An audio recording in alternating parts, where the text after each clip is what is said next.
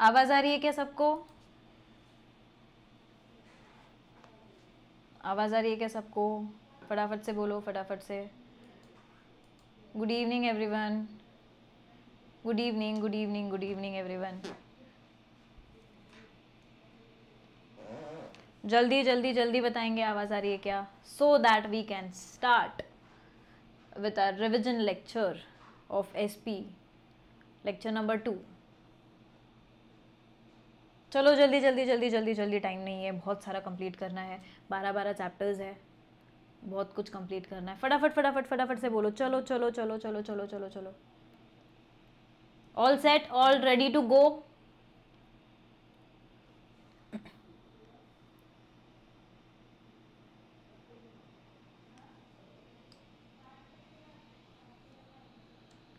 okay so let's start good evening everyone good evening everyone good evening everyone आज जैसे ही सुबह, आज डे टू था हमारा। सुबह हुआ है तुम्हारा ओसीएम का lecture with Karan sir and अभी हम लोग स्टार्ट करेंगे एसपी का लेक्चर मेरे ख्याल से आपको तो अभी पता चल गया रहेगा कि कैसे हम लोग रिवाइज करवा रहे हैं। कैसे फटाफट से क्विक रिविजन जो एक लास्ट मिनट का रिविजन जो सिर्फ़ आप लोगों के लिए लेके आए हम लोग। सिर्फ़ और सिर्फ़ आप लोगों के लिए लेके आए हम लोग। तो आपको अभी समझ आ गया रहेगा एंड आपको ये भी कॉन्फिडेंस आ गया रहेगा कि yes we can score very good marks है कि नहीं? कर सकते हैं स्कोर गुड मार्क्स अच्छे मार्क्स ला सकते हैं। बोलो फटाफट से अच्छे मार्क्स लाएँगे तुम लोग। Okay okay okay good evening good evening good evening good evening everyone good evening everyone चलो चलो चलो चलो स्टार्ट करते चलो। कल हम लोगों ने second chapter first chapter start किया था सेकेंड चैप्टर भी स्टार्ट किया था हम लोगों ने आई होप आप घर पे जाके रिवाइज कर रहे हो। मतलब जो यहाँ पे बैठे थे ऑब्वियसली घर पे जाके रिवाइज करेंगे, और जो ऑनलाइन देख रहे हैं आई होप आप घर पे रिवाइज कर रहे हो, और अगर रिवाइज नहीं कर रहे हो तो अभी से ही रिवाइज करना चालू करें। जितना भी पढ़ा है, मैं ज़्यादा नहीं बोल रही हूँ आपको, ज़्यादा बिल्कुल भी नहीं बोल रही हूँ। जितना भी पढ़ा है, उतना सब कुछ आपको क्या करना है रिवाइज करना है। समझा? समझा? ओके चलो। कल हम लोगों ने एंड किया था, कल हम लोगों ने सेकेंड चैप्टर में देखा था what are equity shares equity shares क्या होता है प्रेफरेंस शेयर्स क्या होता है, वो हम लोगों ने देखा था, बराबर है। और और उसी के साथ साथ मैंने तुम लोगों को घर पे बोला था कि घर पे तुम जब जाएँगे तब तुम क्या देखने वाले हो? टाइप्स ऑफ़ प्रेफरेंस शेयर्स क्या देखेंगे? टाइप्स ऑफ़ प्रेफरेंस शेयर्स तो देखा या नहीं बताओ तो ज़रा तुम लोगों ने देखा या नहीं? मेरे को तो कभी कभी डाउट ही आता है, लेकिन आई ट्रस्ट माई स्टूडेंट्स तो देखा ही रहेगा तुम लोगों ने। जल्दी जल्दी बोलो देखा या नहीं तुम लोगों ने? चलो चलो चलो, जल्दी जल्दी जल्दी जल्दी।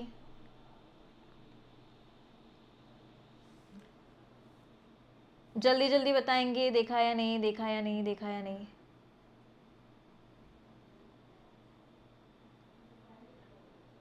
ओके okay, तो एक बार सब देख लेते हैं हम लोग टाइप्स ऑफ़ प्रेफरेंस शेयर्स कितने टाइप ऑफ़ प्रेफरेंस शेयर्स है? कितने टाइप ऑफ़ प्रेफरेंस शेयर्स है? Cumulative and non cumulative preference shares फिर आएगा participating and non participating preference shares next is convertible and non convertible preference shares और last में आया है redeemable and irredeemable preference shares ये चार टाइप ऑफ़ शेयर्स है। वैसे देखा जाए तो आठ टाइप्स ऑफ़ शेयर्स है। कौन से कौन से है?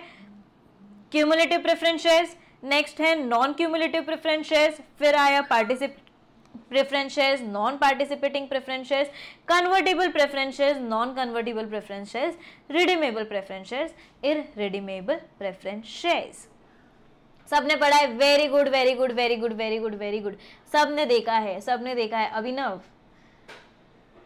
ओके सबने देखा है राइट चलो स्टार्ट करते हैं हम अगले क्वेश्चन के साथ, अगले क्वेश्चन के साथ स्टार्ट करते हैं और उसी के साथ रिटेन अर्निंग जो है, वो आपको पता है, आपके रिड्यूस सिलेबस में है तो you don't have to do anything चलो। नेक्स्ट आया हमारा सोर्सेज ऑफ़ बोरोड कैपिटल मेरे को फटाफट से बताएँगे इक्विटी हम लोगों ने क्या देखा था? Own capital and borrowed capital तो ओन कैपिटल में क्या क्या कवर्ड है? ओन कैपिटल में क्या क्या कवर्ड था तुम्हारा? ओन कैपिटल में शेयर्स बराबर है? शेयर्स एंड बोरोड कैपिटल में क्या कवर्ड है तुम्हारा? बोरोड कैपिटल में कवर्ड है डिबेंचर्स तो फटाफट से मेरे को टाइप करके बताएँगे डिबेंचर्स का मतलब क्या होता है? डिबेंचर्स का मतलब क्या होता है? मेरे को फटाफट फटाफट फटाफट से बताएँगे तुम लोग। को डिबेंचर्स का मतलब क्या होता है? जल्दी जल्दी जल्दी जल्दी जल्दी। डिबेंचर्स का मतलब क्या होता है?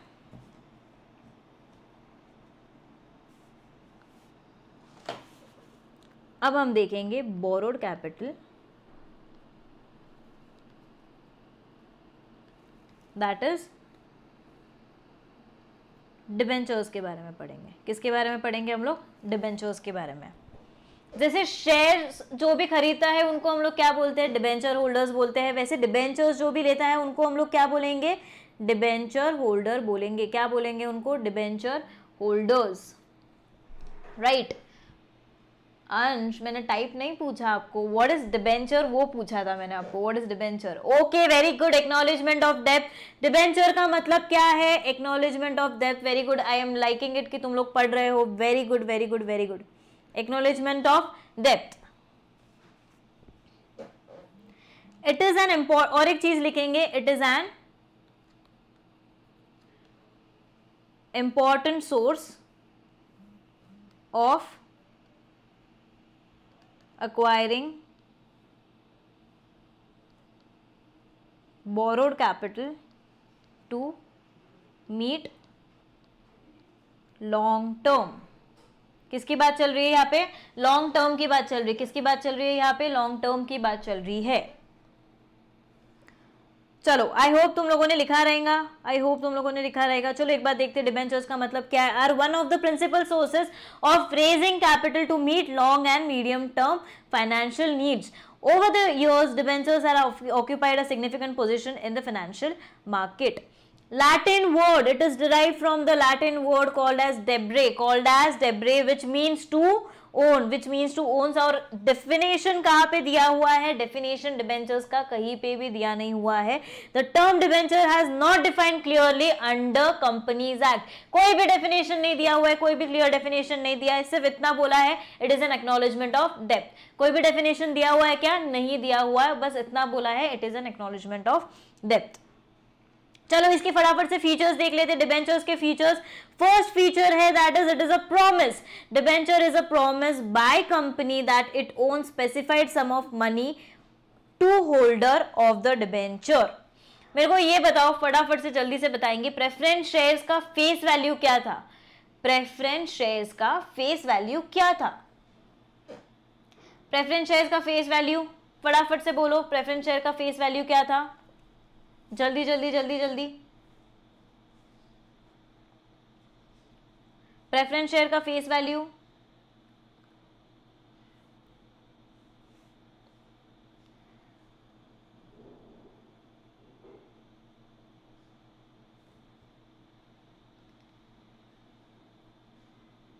अरे बोलो प्रेफरेंस शेयर का फेस वैल्यू क्या था?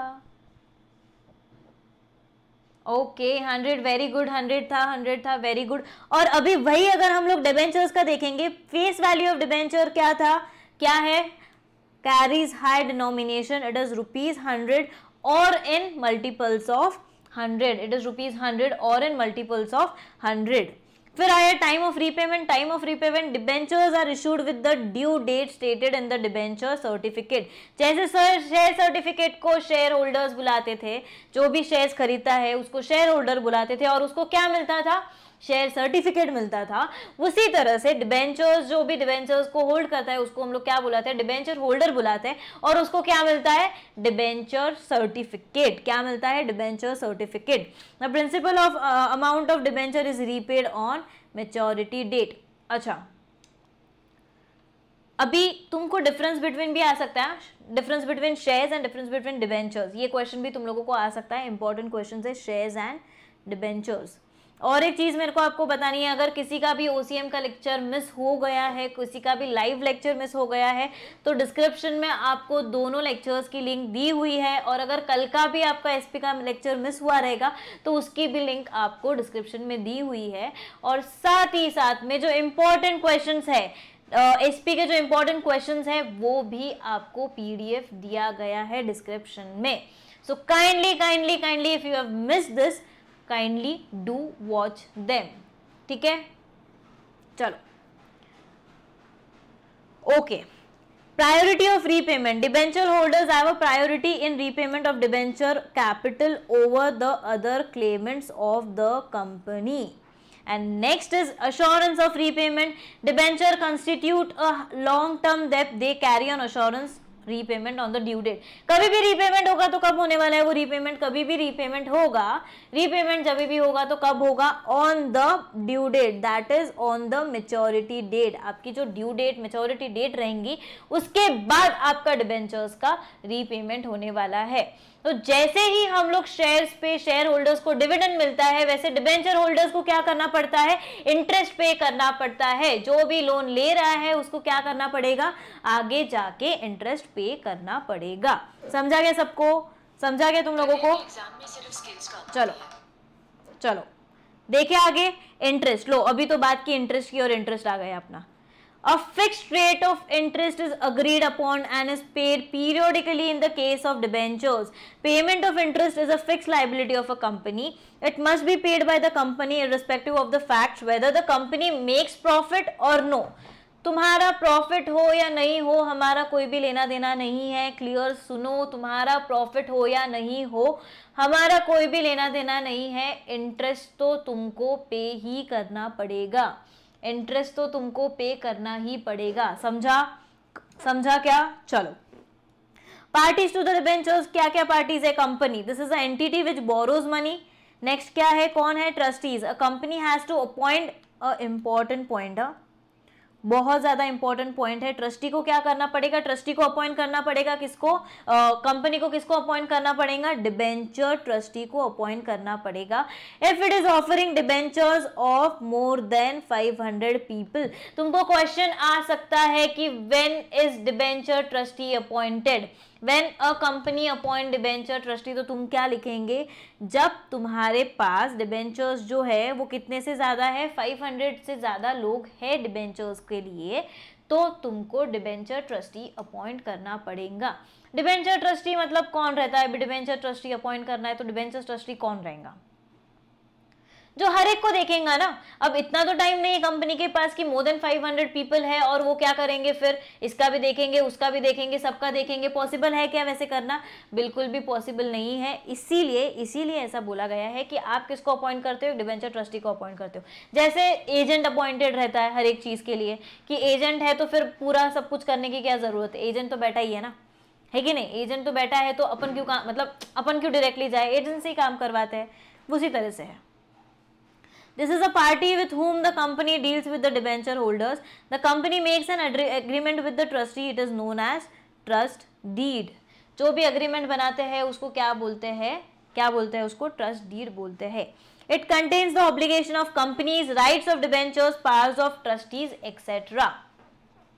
अच्छा ये सारी चीज़ें भी या तुम बोलो ये इंटरेस्ट की चीज़ें भी जो इंटरेस्ट फिक्स्ड है, कौन से परसेंटेज पे फिक्स्ड है, ये भी डिबेंचर सर्टिफिकेट में आएगा तुम्हारा। क्योंकि वही तो एक तुम्हारी चीज़ है ना कि तुम डिबेंचर भी होल्ड कर रहे हो, सारी टर्म्स कंडीशंस वगैरह सब कुछ तुम्हारे सर्टिफिकेट में आएगा, बराबर है? Okay okay. चलो and next is debenture holders these are the parties who provide the loan and receive debenture certificate as an evidence अभी तो बात करें डिबेंचर सर्टिफिकेट की, बराबर? Next is authority to issue debentures. According to the Companies Act 2013, Section 179, subsection 3, the Board of Directors has the power to issue debentures. किसके पास right है किसके पास राइट है बोर्ड ऑफ़ पार्स के डायरेक्टर्स के पास राइट है कि वो क्या कर सकता है डिबेंचर्स को इशू कर सकता है status of debenture holders debenture holder is the creditor of a company इसको सब लोग मार्क करके रखेंगे। A very important question MCQ के लिए आ सकता है फिलिंग द ब्लैंक्स के लिए आ सकता है ट्रू और फॉल्स के लिए आ सकता है हर एक चीज़ के लिए आ सकता है। तो इसको तुम पहले ही मार्क करके रखेंगे। इसको फटाफट से मार्क करके रखेंगे। Since debenture holder is a loan taken by the company, interest is payable on it at the fixed rate at fixed interval uh, until the debenture is redeemed. Next is no voting rights इनको क्यों कोई rights देंगे? ये तो उधार ले रहे हैं ना अपने से। तो इनको तुम क्यों राइट्स देंगे? क्या दे सकते हैं राइट्स क्या लगता है तुम लोगों को? ऑब्वियसली तुम इनको कोई भी राइट्स नहीं दे सकते। No company shall issue any debenture carry any voting rights debenture holders have no right to vote at general meeting of the company अच्छा मैम चौदह चौदह पॉइंट्स है, चौदह चौदह पॉइंट्स है। इतना सब लिखना ज़रूरी है क्या? इतना सब लिखना ज़रूरी है क्या? अगर आपका क्वेश्चन सिर्फ़ पाँच मार्क के लिए आपको आएगा तो आपको max to max seven to eight points तो लिखने ही लिखने हैं। और अगर ये क्वेश्चन आपको आता है आठ मार्क्स के लिए तो मैं तो बोलूँगी कि भाई सब लिख लो। मैं तो ऑन सीरियस नोट्स बोलूँगी कि आपको पूरा का पूरा आंसर लिखना है। एक हाथ दो पॉइंट्स नहीं लिखा तो भी चलेगा, लेकिन यू हैव टू ट्राई कि आप पूरा का पूरा आंसर लिखोगे। Security debentures are generally secured by fixed or floating charge on asset of the company if the company is not in a position to make payment of interest or repayment of the capital the debenture holder can sell off charge property of the company and recover their money क्या security है क्या security है इसमें अब for example example an A ने पैसे लिए कंपनी से ए ने क्या लिया पैसे लिए कंपनी से बराबर है। दैट इज़ लोन लिया कंपनी से कितने लाख का? एक लाख का लोन लिया, जिसपे तुम्हारा इंटरेस्ट कितना था? Ten percent for example for example कितना था? टेन परसेंट इंटरेस्ट है। बराबर है तो तुमको हर बार कितने भर, भरने पड़ेंगे पैसे?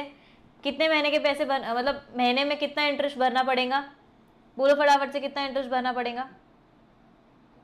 यार, ये तो अभी बोल ही सकते हो, ये तो तुमको पता ही रहेगा यार। कैलकुलेशन तो तुम सही से कर ही सकते हो।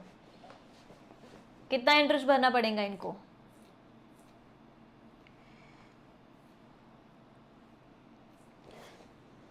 अब ये जो भी इंटरेस्ट रहेगा, ये जो भी इंटरेस्ट रहेगा if it is not possible for a if not possible for a to repay तो क्या होगा? इसने जो भी प्रॉपर्टी रखी हुई है, जो भी प्रॉपर्टी रखी हुई है या जो भी सिक्योरिटी रखी हुई है कंपनी के पास, क्योंकि लोन तो तुमको ऐसे कोई देगा नहीं। जब भी बैंक वाले भी लोन ले रहे हैं तो बैंक वाले भी ऐसे ही लोन देते हैं क्या तुम लोगों को ऑब्वियसली नहीं, जब तक बैंक लोन ही नहीं देंगी मतलब जब तक तुम अपनी चीज़ें कुछ रखेंगे नहीं उनके पास तो बैंक तुमको क्यों लोन देंगी? गिरवी रखना, जो तुम बोलते हो ऑब्वियसली है कि नहीं? तो तुमको कुछ ना कुछ तुम्हारी सिक्योरिटी के लिए, तुम्हारी प्रॉपर्टी तो कुछ ना कुछ तुमको कंपनी के पास रखना पड़ेगा। एंड इन रिटर्न तुमको कंपनी क्या देंगी? पैसा देंगी। अगर ए ने रीपे नहीं किया, अगर ए को पॉसिबल नहीं हुआ इंटरेस्ट पे करने के लिए, और अगर ए को पॉसिबल नहीं हुआ वो कैपिटल रीपे करने के लिए, फिर कंपनी क्या कर सकती है? कंपनी वो असेट्स को या सिक्योरिटीज या जो भी रखी थे जो भी सिक्योरिटीज रखे थे, उसको क्या कर सकते हैं? जब्त कर सकते हैं या और उसको फिर बाद में जाके बेच सकते हैं। उसको फिर बाद में जाके क्या करेंगे? बेच सकते हैं। समझा? नेक्स्ट है issuer debentures can be issued by both private company and public limited company ये ध्यान में रखना। Listing debentures must be listed with at least one recognise stock exchange stock exchange के दो टाइप्स कौन से कौन से? जल्दी जल्दी बताएँगे। स्टॉक एक्सचेंज के दो दो टाइप कौन से कौन से है? कौन से कौन से टाइप स्टॉक एक्सचेंज के? जल्दी जल्दी जल्दी जल्दी बोलो। Two types of stock exchange कौन से कौन से टाइप है? Two type of stock exchange कौन से कौन से टाइप्स है? जल्दी बताएँगे। एक है बॉम्बे स्टॉक एक्सचेंज और दूसरा कौन सा है? NSC that is national stock exchange last is transferability debentures can be easily transfer through the instrument of transfer a very clear picture of the features of debentures क्या है features of debentures a very clear picture ये सारे तुम्हारे क्या है? Features है, ये तुम्हारे लिए तुम्हारा इंपॉर्टेंट क्वेश्चन बनता है। कितने भी मार्क करोगे तुमको, ये चलेगा। कितनी बार भी मार्क करोगे, चलेगा। Very important question again very good सब बच्चे सब बच्चे जवाब दे रहे हैं। बहुत अच्छा लग रहा है मेरे को। सब बच्चे जवाब दे रहे हैं। Very good very good very good very good चलो, जाए आगे। जाए आगे, अब तक क्लियर हो गया सब। फटाफट से देखेंगे हम क्या टाइप्स ऑफ़ डिबेंचर्स कौन से टाइप्स ऑफ़ डिबेंचर्स है, कितने टाइप्स ऑफ़ डिबेंचर्स है। On the basis of security first कौन सा है? सिक्योर डिबेंचर और unsecure debenture on the basis of security that is that is what secure debentures and unsecure debentures on the basis of transferred कौन से कौन से है? रजिस्टर्ड एंड बेरर डिबेंचर क्या है?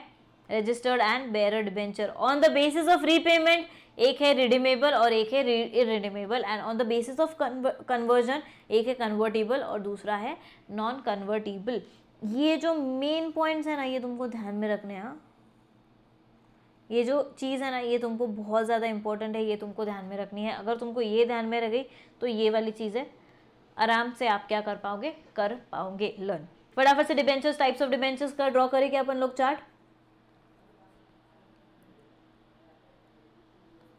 टाइप्स ऑफ़ डिबेंचर्स कौन से कौन से डिबेंचर्स है? देखो।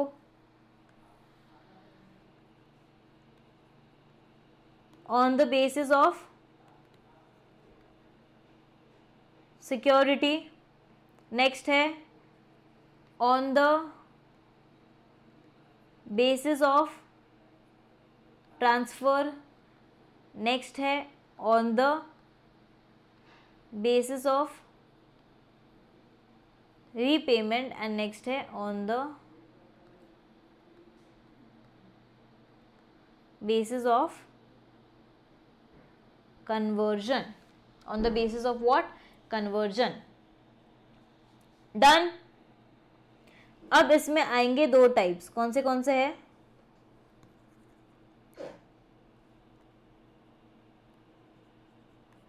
कौन से कौन से है तुम्हारे? Secured and unsecured debentures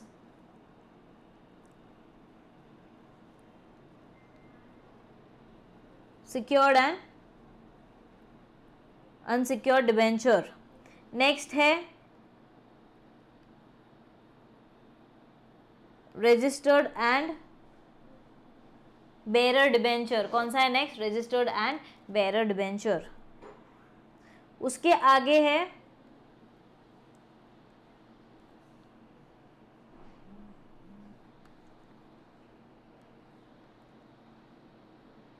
redeemable irredeemable and last है कन्वर्जन नॉन कन्वर्जन ये सारे तुम्हारे क्या है? टाइप्स ऑफ़ डिबेंचर्स क्या है तुम्हारा? टाइप्स ऑफ़ डिबेंचर्स क्लियर जल्दी जल्दी से बोलो अब तक अगर कुछ सब समझ गया है तो जल्दी जल्दी से मेरे को एक थम्स अप दो so that we can move forward we can move forward फटाफट से बोलेंगे, फटाफट से बोलेंगे। अपने को थर्ड चैप्टर स्टार्ट करना है, उसी के साथ साथ लेटर का सिर्फ़ एक फॉर्मेट देखना है कि लेटर कैसे लिखते हैं करके, क्या क्या इंपॉर्टेंट चीज़ें हैं जो तुमको लेटर में लिखनी है। तो जल्दी जल्दी जल्दी जल्दी बताएँगे। बहुत इंपॉर्टेंट सेशन है, बहुत ज़्यादा इंपॉर्टेंट सेशन है ये। एंड एंड और एक चीज़ जो सब हमारे जो सर है, सब बिलीव करते हैं, आकाश सर बिलीव करते हैं, तेजस सर बिलीव करते हैं कि शेयरिंग इज़ केयरिंग तो जो भी जो भी तुम्हारे फ्रेंड्स रहेंगे, जो भी नीडफुल रहेंगे, उनको सबको बोलना है कि we are live on YouTube channel for only you people जहाँ पे हम लोग लेके आए हैं सारे सब्जेक्ट्स का रिविजन सारे सब्जेक्ट्स का revision you have heard it very right OC का रिवीजन चल रहा है, उसी के साथ साथ शाम में हमारा एसपी का रिवीजन चल रहा है, बहुत जल्दी अकाउंट्स का रिवीजन चलने वाला है और बहुत जल्दी होने वाला है इकोनॉमिक्स का भी रिवीजन इकोनॉमिक्स का भी रिवीजन होने वाला है। और उसी के साथ साथ सुबह ही मैंने भी देखा था, काफ़ी बच्चों का ऐसा था कि सीए का कैसे चालू होने वाला है सीए में के क्लासेस कब चालू होने वाले तो I would tell you one thing again सुबह तो वैसे भी करण सर ने बताया है no doubt about it but I want to tell you once again we have started with the admission for tenth standard we have started with the admission for twelfth standard also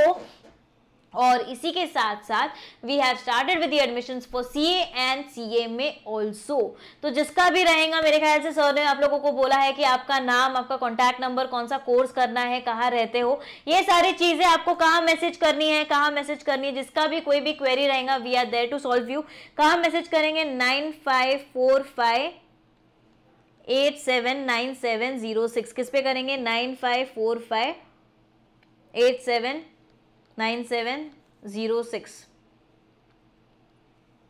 ठीक है? समझा? चलो चलो चलो चलो चलो, आगे बढ़ते फटाफट से देखेंगे डिपॉजिट्स देखना है बॉन्ड्स देखना है एंड उसके बाद we are done with the chapter almost acceptance of deposit public deposit as an important source of financing short term requirement long term में क्या देखा था अपन लोगों ने? डिबेंचर्स क्या थे तुम्हारे लिए? डिबेंचर्स क्या था तुम्हारे लिए? लॉन्ग टर्म था, बराबर है? क्या था तुम्हारे लिए लॉन्ग टर्म था? और वही अगर अभी तुम लोग डिपॉजिट्स की बात करेंगे डिपॉजिट्स की बात करेंगे तो क्या है ये? शॉर्ट टर्म क्या है ये? शॉर्ट टर्म डिपॉजिट्स मतलब डिपॉजिट्स की बात करेंगे तो शॉर्ट टर्म के लिए. What is deposit basically all about companies receive fix deposit from the public for the period ranging from six months to thirty six months यहाँ पे इतना टाइम पीरियड दिया हुआ है six months thirty six months मतलब तीन साल का, बराबर है? तीन साल का दिया हुआ है such deposits are called as public deposits जो भी डिपॉजिट्स जो भी कंपनी जो भी डिपॉजिट्स ले रही है फिक्स डिपॉजिट्स जो भी ले रही है, वो एक फिक्स टाइम पे ले रही है फिक्स पीरियड फिक्स अमाउंट ले रही है. क्या ले रही है? एकदम से fix fix period fix amount ले रही है. जो भी डिपॉजिट्स है फिक्स पीरियड फिक्स्ड अमाउंट ले रही है। इसीलिए इसीलिए इसीलिए उसको क्या बोला गया है? किसको दिया हुआ है? पब्लिक डिपॉजिट्स को दिया हुआ है। इसीलिए हम उसको क्या बोलेंगे? Public deposits under this method general public is invited to deposits there saving with the company for varied period interest is paid by the company on such deposits अब फॉर एग्ज़ाम्पल ऊपर तो अपन लोगों ने देखा था डिबेंचर्स की बात की थी। डिबेंचर्स में क्या होता है? लोन मिलता है लोन देते हैं और सामने वाले इंसान ऑब्वियसली कंपनी को क्या क्या पे करते हैं? इंटरेस्ट पे करते हैं। अब डिपॉजिट्स में क्या होता है? जो पब्लिक इन जनरल है, जो पब्लिक इन जनरल है, वो क्या करती है? डिपॉजिट्स देती है। किसको देती है डिपॉजिट्स पैसे देती है। किसको देती है डिपॉजिट्स कंपनी को देती है। क्या करती है? Company and in return in return company क्या करती है? इंटरेस्ट पे करती है। कंपनी क्या करती है? इंटरेस्ट पे करती है। किसको इंटरेस्ट पे करती है? पब्लिक इन जनरल जिसने भी डिपॉजिट किया हुआ है, उसको इंटरेस्ट पे करती है। क्लियर समझ में आ गया? चलो। The company issues deposit receipt to the depositor अभी अभी ये चैप्टर में तुमको कंफ्यूज नहीं हो रहा है, जो भी शेयर होल्डर है शेयर होल्डर का कुछ अलग पार्ट है डिबेंचर्स होल्डर है तो उनका कुछ अलग पार्ट है, किसी को डिबेंचर सर्टिफिकेट मिलता है ट्रस्ट डीड बनाना पड़ता है, हर एक चीज़ करनी पड़ती है। तो सब कुछ एक दूसरे में मिक्स मत करना, वो मेरे को आपको बताना है शेयर्स का शेयर्स में ही रहने देना डिबेंचर्स का डिबेंचर्स में ही रहने देना। शेयर होल्डर को ये डिविडेंड मिलता है डिबेंचर होल्डर को क्या मिलता है इंटरेस्ट पे करना पड़ता है। उसी के साथ साथ यहाँ पे द कंपनी इशूज क्या डिपॉजिट रिसीट इश्यू करती है टू द डिपॉजिटर जो भी डिपॉजिट कर रहा है उसको अपन लोग क्या बुलाएँगे डिपॉजिटर बुलाएँगे The terms of deposits are mentioned in the deposit receipt. Deposit receipt is an acknowledgement of debt or loan by the company and deposits are either secured or unsecured loans after to the offer to the company. अब आप लोग क्या करेंगे ये meaning आप पढ़ेंगे क्या करेंगे एक इंट्रोडक्शन जो है, वो तो मैंने ऑलरेडी आप लोगों को बताया हुआ है। इंट्रोडक्शन जो है, वो ऑलरेडी मैंने आपको बताया हुआ है। आपको सिर्फ़ क्या पढ़ना है, क्या पढ़ेंगे तुम लोग? मीनिंग पढ़ेंगे। बराबर है। और मेरे को पूरा भरोसा है कि आप लोग मीनिंग पढ़ेंगे। एंड अगर नहीं पढ़े तो मेरे को पता है, तुम पढ़ लेंगे तो फिर मेरे को कोई प्रॉब्लम ही नहीं है। I know that you will be doing it चलो, समझ में आ गया? जाए फटाफट से बॉन्ड्स के ऊपर। बॉन्ड्स क्या होता है? बॉन्ड इज़ अ डेप्थ सिक्योरिटी क्या है? सिक्योरिटी बॉन्ड एक क्या है तुम्हारे लिए? सिक्योरिटी है. क्या रहेगा तुम्हारे लिए? सिक्योरिटी एमसीक्यू के लिए फिल इन द ब्लैंक्स के लिए मैच द फॉलोइंग के लिए, कहीं पे भी आ सकता है, कहीं पे भी आ सकता है तो इसको भूलिएगा मत, इसको जितना भी मार्क कर सकते हैं, उसको मार्क करके रखिए। It is a formal contract to repay borrowed money with the interest bond क्या है? लोन है। बॉन्ड क्या है? लोन है। The holder of the bond is a lender to the institution he is a creditor of the company अब तक जितना भी पड़ा है debenture holder is also creditor of the company और उसी के साथ साथ जो भी लेंडर है, वो कौन है? क्रेडिटर ऑफ़ अ कंपनी है। All bonds have maturity date and it's paid in cash at certain date in the future cash की बात की है, यहाँ पे क्रेडिट की बात करी हुई है क्या? नहीं, यहाँ पे किसकी बात की हुई है? कैश की बात की हुई है। चलो देखते फटाफट से features features nature of finance it is a debt finance and it provides long term finance मतलब क्या है? लॉन्ग टर्म के लिए है बट एक पीरियड दिया हुआ है। डिबेंचर होल्डर किसके लिए है? लॉन्ग टर्म के लिए है। और उसी के साथ साथ जो अपना बॉन्ड है, वो भी किसके लिए है? लॉन्ग टर्म के लिए। तो शॉर्ट टर्म के लिए क्या बचा है? डिपॉजिट जो है, वो किसके लिए होगा तुम्हारा? शॉर्ट टर्म के लिए होने वाला है। Nature of finance it is a debt finance it provides long term finance the bond can be issued for longer period that is five years ten years twenty five years और fifty years fifty years के लिए हो सकता है। Next आया हमारा status of bond holders bond holders का मतलब क्या है? बॉन्ड होल्डर्स का मतलब है the bond holders are creditors since they are creditors and non owners they are entitle to participate in the general meeting and they have no voting rights and hence no participation in the management अरे यार, ये creditor है तो कोई भी इंसान या कोई भी कंपनी क्रेडिटर के हाथ में क्यों देंगी वोटिंग राइट्स बताओ मेरे को। देंगी क्या कोई भी? कोई भी कंपनी क्रेडिटर को क्यों वोटिंग राइट्स देंगी? पॉसिबल ही नहीं है। मतलब देने का कोई सवाल ही नहीं उठता यहाँ पे। देने का कोई सवाल ही नहीं होता एक बार से डेटर रहा तो भी समझेगा, क्योंकि ओनर है ना। एक बार से ओनर रहा तो भी चलेगा बट ये तो क्रेडिटर है तो क्यों देंगे राइट्स है कि नहीं? Returns on bonds, the bondholder get a fixed rate of interest. It is payable at regular interval or at the maturity of the bond.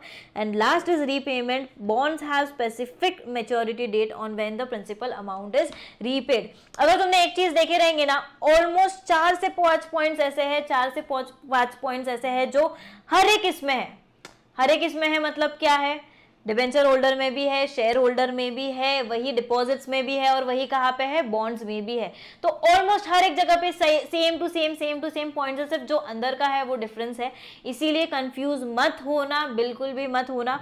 बहुत ईजी चैप्टर है, बहुत ज़्यादा स्कोरिंग है एस मतलब तुम आराम से आराम से बहुत अच्छे से स्कोर कर सकते हो इसमें। सिर्फ़ इतना है कि बच्चे क्यों मतलब परेशान हो जाते हैं या बच्चे क्यों कंटाला करते हैं, क्योंकि थ्योरी पेपर है। लेकिन थ्योरी पेपर बहुत ज़्यादा स्कोरिंग है और स्पेशली ऐसा सब्जेक्ट जो मतलब हर एक चीज़ debenture share holders bonds deposits हर एक चीज़, यही चीज़ बता, चीज़ें बता रहा है तो फिर तो बहुत ही ईजी है ये, ठीक है? अब मैं बोल रही हूँ तो थोड़ा तो भरोसा कर लो कि ईजी रहेगा करके, है कि नहीं? चलो, जाए आगे, बढ़े आगे, अब तक का समझ गया, फटाफट से बोलेंगे, फटाफट से बोलेंगे, समझ गया क्या आपको? चलो। American depository receipt and global depository receipt, ये तुमको आ सकता है स्पेशली स्पेशली शॉर्ट नोट्स में। कहा आ सकता है स्पेशली स्पेशली सिर्फ़ और सिर्फ़ ज़्यादा करके पॉसिबिलिटी है कि ये तुमको आ सकता है शॉर्ट नोट्स में। क्लियर चलो। In India shares of public companies are listed listed companies कौन होती है? कौन सी लिस्टेड कंपनीज़ होती है? फटाफट फटाफट से बोलेंगे लिस्टेड कंपनी का मतलब क्या है? लिस्टेड कंपनी कौन होती है? जल्दी जल्दी जल्दी बोलेंगे, जल्दी जल्दी बताएँगे लिस्टेड कंपनीज़ कौन होती है, क्या होती है, कैसे होती है how do you tell it as listed company फटाफट से फटाफट से फटाफट से बताएँगे लिस्टेड कंपनी क्या होती है। जल्दी जल्दी जल्दी जल्दी जल्दी जल्दी जल्दी।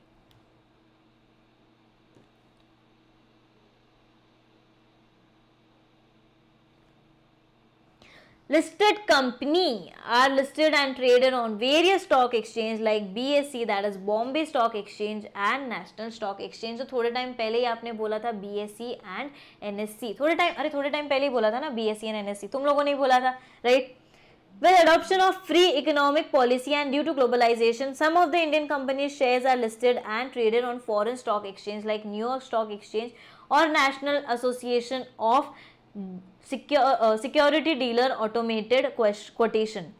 To list shares on this stock exchange, company has to comply with policies of those stock exchange. अभी ऐसे तो कोई भी उठसुट जो भी आएगा वो नहीं करेगा ऐसे तो कोई भी नहीं आएगा बराबर है कि नहीं ऑब्वियसली कुछ तो रूल्स रहेंगे कुछ तो रेगुलेशंस रहेंगे कुछ तो पॉलिसीज़ रहेंगी बराबर है कि नहीं कुछ तो पॉलिसीज़ रहेंगी जिसके लिए तुमको क्या करना है क्या करना है, कहाँ पे स्टेटेड रहेगा you will have to go according to the stock exchange वाला thing the policies of the stock exchange are different than the policy of Indian stock exchange therefore those Indian companies which are not list their share directly on foreign exchange get listed indirectly using A D R and G D R जहाँ पे भी Indian companies दो है, जो list नहीं हो सकती directly जो लिस्ट नहीं हो सकती, वो कहाँ लिस्ट होती है?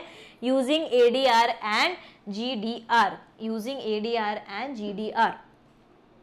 ADR and GDR are dollar euro uh, denominated instrument traded in USA and Europe stock exchange. Again a important point. Again a very important point. USA and Europe stock exchange. Indian companies issue shares to an intermediary called as depositories अच्छा ये जो है depository अपन लोगों ने depository link भी देखा हुआ है डीपी भी देखा हुआ है हर एक चीज़ देखी हुई है। तो ये चैप्टर नंबर इलेवन में देखेंगे टेन इलेवन में देखेंगे। अभी इतने टेंशन लेने की ज़रूरत नहीं है। अभी सिर्फ़ क्या समझेंगे तुम? Indian company shares to an intermediary call as depositor जैसे एजेंट रहता है वैसे बेसिकली क्या रहता है? डिपॉजिटर रहता है। चलो act as uh, act as an foreign depository bank the depository bank issues adr and gdr to investor against this shares the adr and gdr represent fixed number of shares these ADR and GDR are then sold to people in the foreign country मतलब ये जो ADR और GDR है ये कहाँ पे cell होता है फिर कहाँ पे आगे जाके होता है सोल्ड टू फॉरेन कंट्रीज़ कहाँ पे हो रहा है फॉरेन कंट्रीज़ में बेचा जा रहा है and they are traded like regular share जो रेगुलर शेयर होता है, जो रेगुलरली तुम शेयर में ट्रांजैक्शन कर रहे हो डीलिंग कर रहे हो, उसी तरह से किसमें होता है? एडीआर और जीडीआर में भी सेम सेम वही होता है। ADR and GDR again the full form क्या फुल फॉर्म है इसका? अमेरिकन डिपॉजिटरी रिसीट और global depository receipt American depository receipt और global depository receipts The prices fluctuate depending on the demand and supply. Both ADR and GDR are depository receipt, but only difference is the location where they are traded. एक American है और एक क्या है global है एक American है और एक क्या है ग्लोबल है receipt is uh, if the depository receipt is traded in USA it is called as American depository receipt no doubt obviously America and USA पता है आप लोगों को तो right and if it is traded in a country other than USA it is called as global depository receipt अगर अगर USA में है तो क्या बोलेंगे तुम लोग क्या बोलेंगे तुम लोग उसको American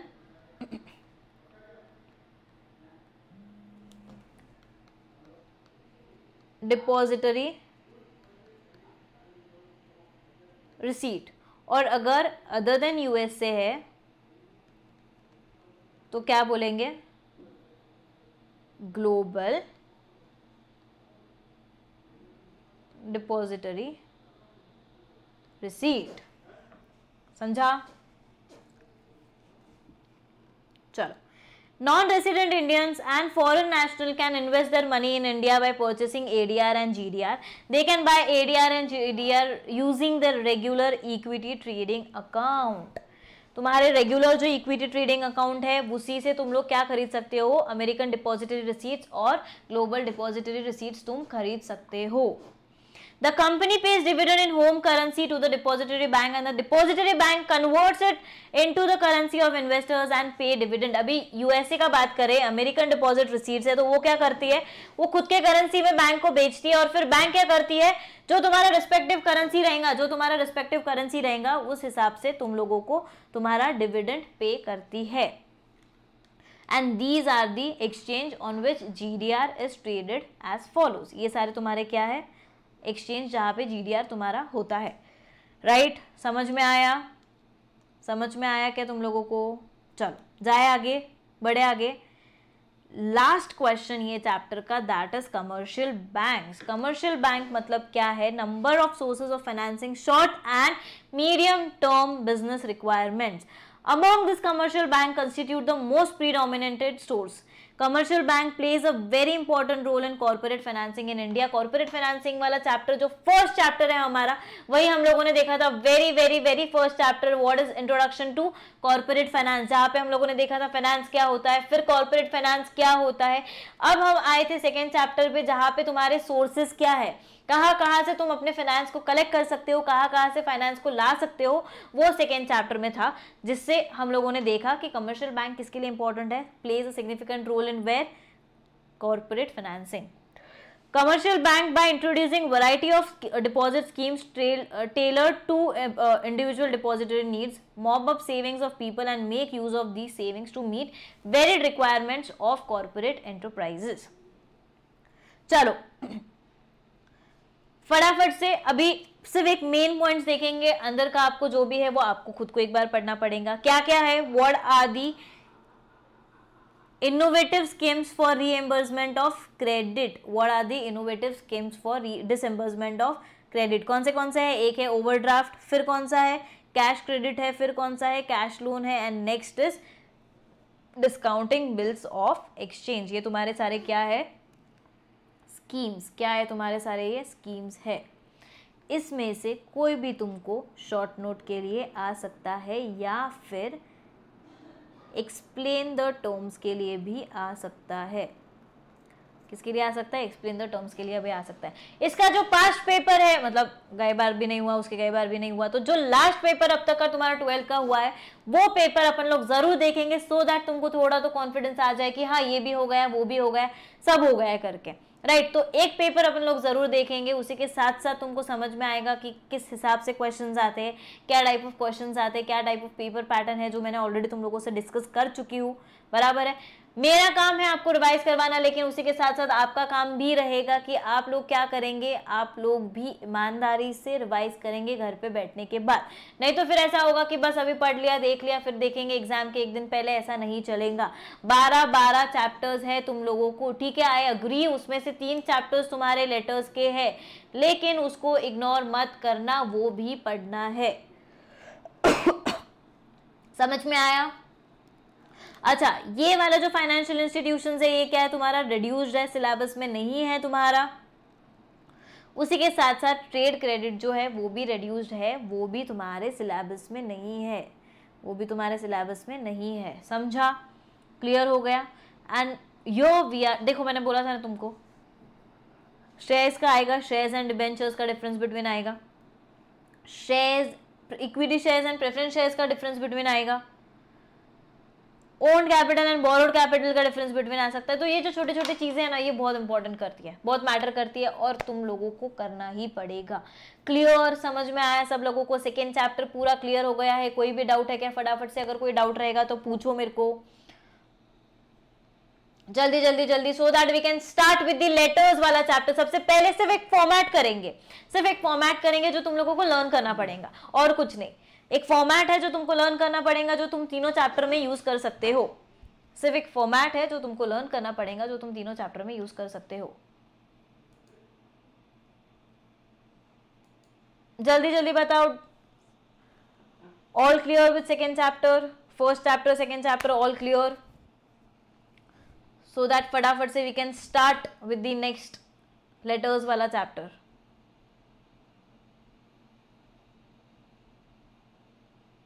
okay very good a good thumbs up चलो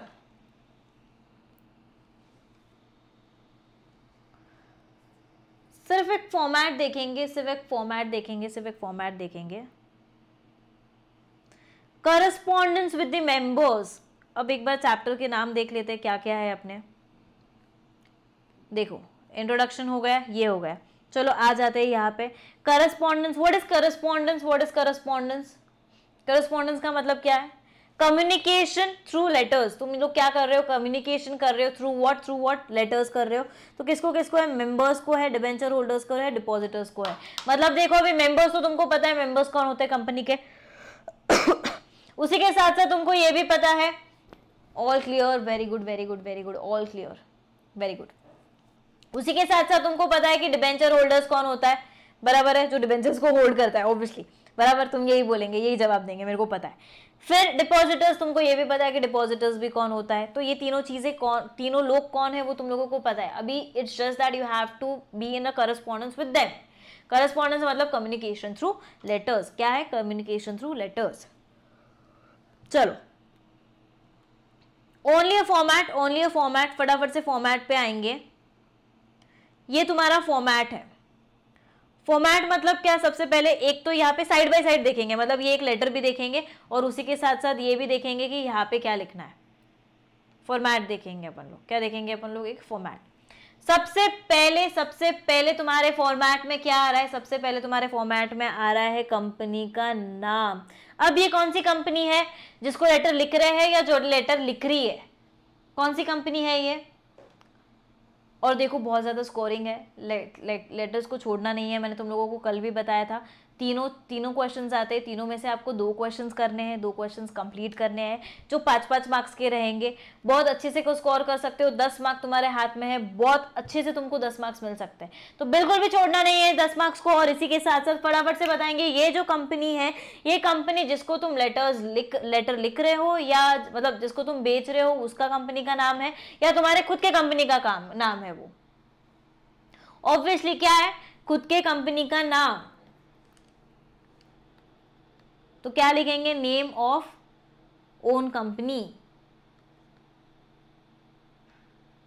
name of own company खुद के कंपनी का नाम.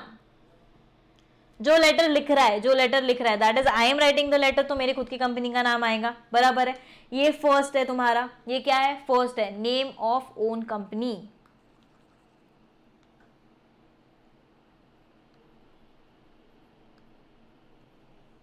फिर सेकेंड क्या आएगा? यहाँ पे एड्रेस आएगा। क्या आएगा यहाँ पे? एड्रेस आएगा। क्या आने वाला है? एड्रेस किसका? खुद की कंपनी का एड्रेस नहीं तो खुद की कंपनी का नाम लिखेंगे और एड्रेस किसी और का लिखेंगे। चलेगा क्या? नहीं चलेगा। फिर क्या आएगा तुम्हारा? सिन नंबर सिन नंबर आएगा। कंपनी आइडेंटिफिकेशन नंबर अब एसपी पूरा पढ़ा ही है तो तुमको पता ही रहेगा और जिसने भी नहीं पढ़ा टेंशन मत लीजिए। सिन नंबर भी देखेंगे। CIN is CIN is what companies identification number बराबर? इतना हो गया। तीन पॉइंट समझ गए आप लोगों को, ये तीन पॉइंट्स आएँगे। बराबर? चलो, जाए आगे। अब अब, अपने लेफ़्ट में मतलब तुम्हारे राइट में, मेरे लेफ़्ट में मतलब तुम्हारे राइट में, क्या आएगा? तुम्हारे भी लेफ़्ट में ही आएगा ऑब्वियस बात है। क्या आएगा यहाँ पे? फ़ोन नंबर आएगा। ये फोर्थ है। फिफ्थ क्या आएगा तुम्हारा? फैक्स नंबर आएगा। सिक्स क्या आएगा तुम्हारा? रेफरेंस नंबर आएगा। सिन नंबर गलत लिख के मत आना। सिन नंबर सही से करेक्ट वाला लिख के आना। फटाफट से मेरे को बताएँगे सिन नंबर में अल्फाबेट्स कितने? CIN is a alpha numerical number CIN क्या है तुम्हारा? अल्फ़ा न्यूमरिकल नंबर रहेगा। फटाफट से बताएँगे मेरे को कि कितने अल्फाबेट्स है और कितने नंबर्स है। नहीं तो ऐसा हो जाएगा, खुद से, मन से कुछ भी लिखेंगे और फिर एग्ज़ाम में गलत हो जाएगा सेंस नहीं बनेगा। रहेगा तुम बारह बारह डिजिट का नंबर और तुम सिर्फ़ पाँच छः डिजिट लिख के आएँगे, कोई सेंस नहीं बनेगा। मेरे को फटाफट से बताएँगे अल्फ़ाबेट्स कितने हैं और न्यूमरिकल कितने हैं इसमें? अल्फ़ाबेट्स कितने हैं और न्यूमरिकल्स कितने हैं इसमें? फटाफट से बताएँगे मेरे को सिन में। जल्दी जल्दी जल्दी बोलेंगे, जल्दी जल्दी जल्दी।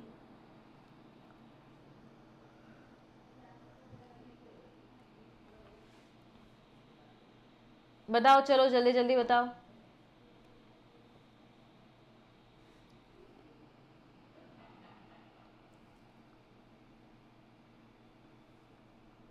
चलो, तब तक मैं आगे बढ़ती हूँ। फ़र्स्ट आएगा तुम्हारा name of the company second आएगा तुम्हारा एड्रेस थर्ड आएगा तुम्हारा सिन फोर्थ आएगा तुम्हारा फ़ोन नंबर, फिर आएगा तुम्हारा fax number. Very good very good very good very good very good कितने हैं? ट्वेंटी वन डिजिट का न्यूमेरिकल नंबर रहता है अल्फ़ा न्यूमेरिकल नंबर रहता है ट्वेंटी वन जिसमें सिक्स तुम्हारे क्या रहते हैं? अल्फाबेट्स रहते हैं। सिक्स अल्फाबेट्स एंड फिफ्टीन क्या है तुम्हारा? नंबर फिफ्टीन क्या है तुम्हारा? Number very good very good very good very good चलो, कितने का नंबर रहता है? अल्फ़ा न्यूमेरिकल ट्वेंटी वन का अल्फ़ा न्यूमेरिकल नंबर रहता है। फिर वही फ़ोन फैक्स रेफरेंस नंबर तुम्हारे लेफ़्ट में तुम ये सब लिखेंगे और तुम्हारे राइट में तुम लोग क्या लिखेंगे? फिर सेवेंथ क्या आएगा? वेबसाइट का नाम आएगा, उसी के साथ साथ, अभी बोलना मत वेबसाइट ही नहीं है हमारे कंपनी की, ऐसा हो ही नहीं सकता कि वेबसाइट नहीं है करके। बराबर है कि नहीं? तो नेक्स्ट आएगा तुम्हारा क्या? वेबसाइट फिर आएगा तुम्हारा ईमेल आईडी फिर क्या आएगा तुम्हारा डेट जिस दिन तुम डेट लिख रहे हो, वो आएगा। जिस दिन तुम डेट लिख रहे हो, वो डेट आएँगी यहाँ पे। क्लियर हो गया इतना? हो गया? फिर टेंथ तुम्हारा अच्छा ये नंबरिंग वहाँ पे मत देना। नंबरिंग में सिर्फ़ तुमको याद दिलाने के लिए दे रही हूँ। वहाँ जाके नंबरिंग मत देना, कुछ और ही हो जाएगा। वहाँ जाके नंबरिंग मत देना, ठीक है? टेंथ क्या आएगा? एड्रेस जिसको लेटर भेज रहे हैं।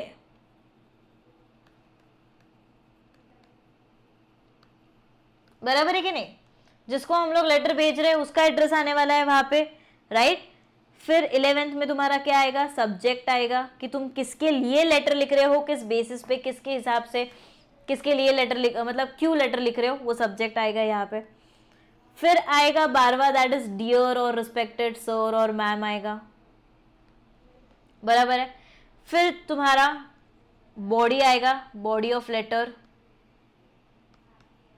this will be written according to the subject this will be according to the subject ये तुम्हारा रहेगा थर्टीन ये क्या रहेगा? बॉडी ऑफ़ लेटर जो है वो तुम्हारा क्या रहेगा? अकॉर्डिंग टू द सब्जेक्ट रहेगा। इशू ऑफ़ शेयर्स है प्रोवाइडिंग डिविडेंट है, या फिर गिविंग इंटरेस्ट है पेइंग इंटरेस्ट है। इंटरेस्ट कैसे पे कर रहे हो? कैश से पे कर रहे हो? इलेक्ट्रॉनिक मोड में पे कर रहे हो?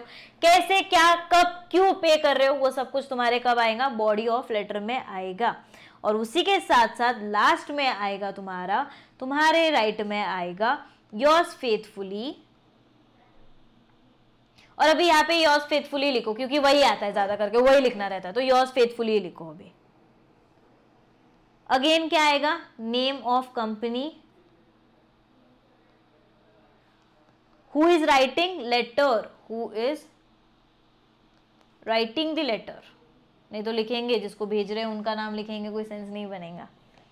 Who is writing the letter फिर क्या आएगा?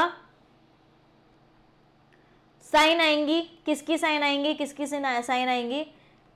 कंपनी सेक्रेटरी की। क्योंकि लेटर्स कौन लिख रहा है? कंपनी सेक्रेटरी कंपनी सेक्रेटरी यहाँ पे बहुत बड़ा इंपॉर्टेंट रोल प्ले कर रहे हैं। बहुत ज़्यादा बड़ा इंपॉर्टेंट रोल प्ले कर रहे हैं, जहाँ पे कंपनी सेक्रेटरी को ध्यान देना पड़ता है कॉन्फिडेंशियलिटी चीज़ों पे। ध्यान देना पड़ता है एम्प्लॉयज़ का काम का, चीज़ कैसा है, सही से काम कर रहे हैं, नहीं कर रहे हैं, क्या कर रहे हैं, क्या नहीं कर रहे वो चीज़ पे ध्यान देना। अगर किसी को कोई चीज़ नहीं आ रही है तो उनको ट्रेन करवाना सही तरीके से। ये सारे सेक्रेटरी के क्या रहते हैं? काम रहते हैं। राइट तो करस्पॉन्डेंस भी जो भी कर रहा है विद डिपॉजिटर हो विद मेंबर्स हो, या विद डिबेंटर होल्डर्स हो, कौन करेगा? कंपनी सेक्रेटरी ही करते हैं। तो यहाँ पे किसकी साइन आएँगी? ऑब्वियसली जो लेटर लिख रहा है that is company secretary letter लिख रहे हैं तो उनका नाम आएगा। और उसकी साइन आएँगी और नीचे क्या आएगा? उनका नाम company name of C S done done thanking you body of letter में ही आएगा ना बेटा? वो तो बॉडी ऑफ़ लेटर में ही आएगा। थैंकिंग यू यहाँ पे लास्ट में आएगा ही आएगा। ठीक है, चलो तुम्हारे लिए मैं लिख लेती हूँ। That is a part of body of letter body का पार्ट है वो। चलो, तुम इतना बोल रहे हो तो तुम्हारे लिए लिख ही लेती हूँ अलग से। लेकिन वो बॉडी ऑफ़ लेटर का पार्ट ही है तो कुछ अलग से उसमें है नहीं। समझा क्या? कितने पॉइंट्स है अभी एक बार गिन लेते कितने पॉइंट्स है टोटल मिला के तुम्हारे? अठारह पॉइंट्स है। अठारह पॉइंट्स तुम्हारा एक, ये मतलब एक बनना ही चाहिए कि तुम्हारे लेटर में ये अठारह पॉइंट्स तो आने ही आने चाहिए। आराम से आराम से, बहुत अच्छे से तुम गिन के more than three and half marks तो तुम स्कोर ही कर सकते हो। इसमें से सिर्फ़ तुमको ये याद में रखना है कि कोई भी चीज़ तुमको भूलनी नहीं है। कोई भी चीज़ तुमको भूलनी नहीं है। कोई भी चीज़ तुमको भूलनी नहीं है। राइट? समझ गया तुम लोगों को? समझ गया? बेटा, हर कोई करस्पॉन्डेंस कर सकता है बट अभी फ़िलहाल के लिए तो तुम इतना ही ध्यान रखो सेक्रेटरी कंपनी सेक्रेटरी जो है वो करस्पॉन्डेंस कर रही है। क्योंकि अगर तुम लोगों ने इलेवेंथ का चैप्टर पढ़ा रहेगा इलेवेंथ का फ़र्स्ट चैप्टर जहाँ पे तुमको इंट्रोडक्शन ऑफ़ एसपी दिया हुआ है as we are studying right now only secretarial practice right और कंपनी सेक्रेटरी मतलब वही होता है ना प्रोफेशनल कोर्स में ही आता है, आखिर में C A C M A और सी एस है कि नहीं? तो कंपनी सेक्रेटरी भी तो होता है फिर। बराबर?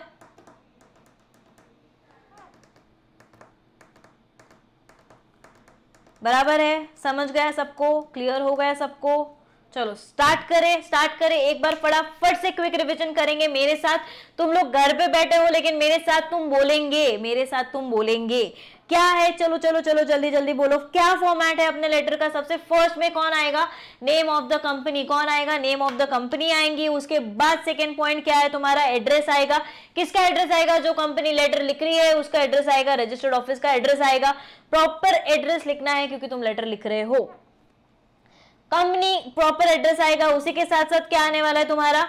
उसी के साथ साथ क्या आएगा? सिन नंबर आएगा कंपनी का सिन नंबर आएगा, जो है 21 alpha numerical number 21 alpha numerical number जिसमें से छ six are your alphabets and 15 is your number कितना है? 21 अल्फ़ा न्यूमेरिकल नंबर रहता है सिन का, जिसमें से छह तुम्हारे रहते हैं अल्फाबेट्स और 15 तुम्हारा क्या रहेगा? Number right right? फिर फोर्थ पे तुम्हारे लेफ़्ट में सबसे पहले तुम क्या लिखेंगे? फ़ोन नंबर लिखेंगे, उसके बाद लिखेंगे तुम्हारा फैक्स नंबर और उसके बाद लिखेंगे तुम्हारा रेफरेंस नंबर। उसके बाद क्या लिखेंगे? Reference number. और आपके राइट में, उसी के सामने, आपके राइट में तुम क्या लिखेंगे? सबसे पहले वेबसाइट लिखेंगे, ईमेल आईडी लिखेंगे, एंड लास्ट में लिखेंगे डेट। फिर टेंथ पॉइंट जो तुम्हारा है, टेंथ पॉइंट में तुम क्या लिखेंगे? एड्रेस लिखेंगे, जिसको लेटर भेज रहे हैं, उसका एड्रेस। जिसको हम लोग लेटर लिख रहे हैं, उसका एड्रेस वहाँ पे आएगा। नेक्स्ट इज़ इलेवेंथ में तुम्हारा लिखेंगे, तुम सब्जेक्ट लिखेंगे। सब्जेक्ट आएगा तुम्हारा और उसी के साथ साथ ट्वेल्थ पॉइंट क्या आएगा? डियर सर और मैम मैडम लिख सकते हो, कोई प्रॉब्लम नहीं है। मैम भी लिख सकते हो, कोई भी प्रॉब्लम नहीं है। नेक्स्ट है थर्टीन पॉइंट थर्टीन पॉइंट में तुम्हारा बॉडी ऑफ़ लेटर आएगा लेटर ऑफ़ बॉडी आएगा। बराबर है, जिसमें लास्ट में तुमको थैंकिंग यू ये तो कंपलसरी लिखना ही लिखना है। और उसी के साथ साथ we are done with the letter वाला थिंग जहाँ पे फोर्टीन पॉइंट पे तुम लिखेंगे yours faithfully I tell you I tell you wait पहले ये कंप्लीट कर लेते हैं, मैं डेफिनेटली आपके क्वेश्चंस का जवाब दूँगी. फोर्टीन पॉइंट क्या है? योर्स फेथफुली फिफ्टीन पॉइंट क्या है? Name of the company who is writing the letter जिसका नेम ऑफ़ द कंपनी जो ऊपर टॉप में लिखा है ना फ़र्स्ट पॉइंट पे. Same as point first that is name of the company और नीचे आएगा साइन आएगा कंपनी सेक्रेटरी ऐसे लिखा हुआ आएगा and name of the C S जो भी साइन कर रहा है, जो भी साइन कर रहा है, उसका क्या आएगा? वहाँ पे नाम आएगा. Is clear with the format everyone is clear with the format समझ गया क्या सबको? समझ गया क्या सबको? फॉर्मेट तो समझ गया। तुम लोगों को फटाफट से मेरे को बोलेंगे फॉर्मेट समझ गया क्या आप लोगों को? जल्दी जल्दी जल्दी से बताएँगे।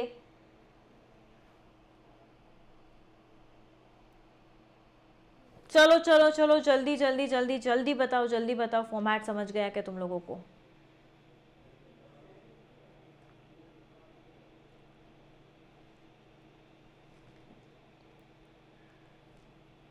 डन चलो।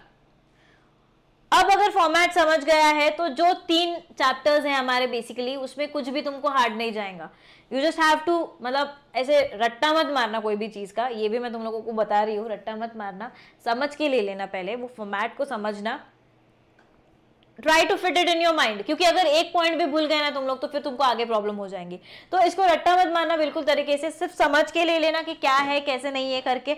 और अगर ये तुमको आ गया तो सिर्फ़ तुम्हारा एक इंपॉर्टेंट चीज़ रह जाता है, वो ये। And this you have to write according to the subject जो भी सब्जेक्ट तुमको पूछा गया है डिबेंचर पे डिबेंचर पे इंटरेस्ट पे करना है the way I told you before only कैसे कैसे लेटर्स आ सकते हैं तुमको? इशू ऑफ़ शेयर हो, इशू ऑफ़ शेयर सर्टिफिकेट के वही शेयर सर्टिफिकेट नहीं आया, इशू करना है उसको। पेमेंट ऑफ़ डिविडेंट जो अभी मैंने तुम लोगों को बोला payment of dividend through dividend warrant अच्छा और एक चीज़ मेरी रह गई है जो तुमको बतानी है मेरे को। अगर कोई इंक्लोजर रहा तो दिस विल मतलब वो कहाँ पे आएगा? एनक्लोजर कहाँ पे आएगा तुम्हारा?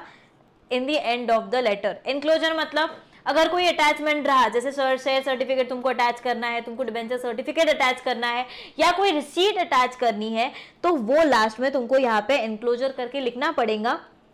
एंड फॉर एग्ज़ाम्पल तुम इंटरेस्ट वारंट लगा रहे हो यहाँ पे तो तुमको लिखना पड़ेगा कि तुमने क्या एनक्लोज किया है, तुमने क्या अटैच किया है, वो तुमको लिखना पड़ेगा। दैट इज़ जो भी एग्ज़ाम्पल रहेगा डिबेंचर सर्टिफिकेट या अगर तुम ट्रांसफ़र कर रहे हो शेयर्स को तो ऑब्वियसली तुम्हारे पास जो शेयर सर्टिफिकेट है, वो तो वो भी तुम ट्रांसफ़र करेंगे। तो वो भी अगर तुम एनक्लोज कर रहे हो तो वहाँ पे भी लिखना पड़ेगा शेयर सर्टिफिकेट समझा? क्लियर जाए आगे. जाए आगे. चलो. अब एक बात जो अदिति आपने पूछी मेरे को कि ma'am is it okay if I letter exceed one page try की एक ही पेज में सब कुछ फिट हो जाए. ठीक है? एंड अगर एक्सीड भी होता है तो भी कोई प्रॉब्लम नहीं, लेकिन तुमको यहाँ पे कोई मतलब मैं क्या बोलूँ, तुमको लव लेटर वगैरह तो नहीं लिखना है तुमको right you have to be specific ये प्रोफेशनल वाला लेटर है, ये एकदम फॉर्मल वाला लेटर है तो तुमको जो पॉइंट है, वही स्पेसिफिक पॉइंट लिखना है। अभी इसका मतलब ये नहीं कि जो बॉडी ऑफ़ मतलब जो लेटर है बॉडी का वो तुम मतलब मतलब पूरा एक कॉम्पोजिशन टाइप में लिख लो ऐसा कुछ नहीं लिखना है ऐसा कुछ नहीं करना है। स्पेसिफिक रहना है एकदम प्रिसाइज रहना है जितना थोड़ा सा छोटा सा रहेगा तो वो छोटा का छोटा ही रखना है। ज़्यादा मत मतलब डालो उसमें ये भी करना है वो भी करना है ऐसा भी करना है वैसा भी करना है नहीं। आ, मतलब एक पेज पूरा और आगे के पाँच छः लाइन रहेंगे तो चलेगा बट ट्राई कि तुम एक ही पेज में पूरा करो। समझ में आ गया? क्लियर हो गया सबको? Clear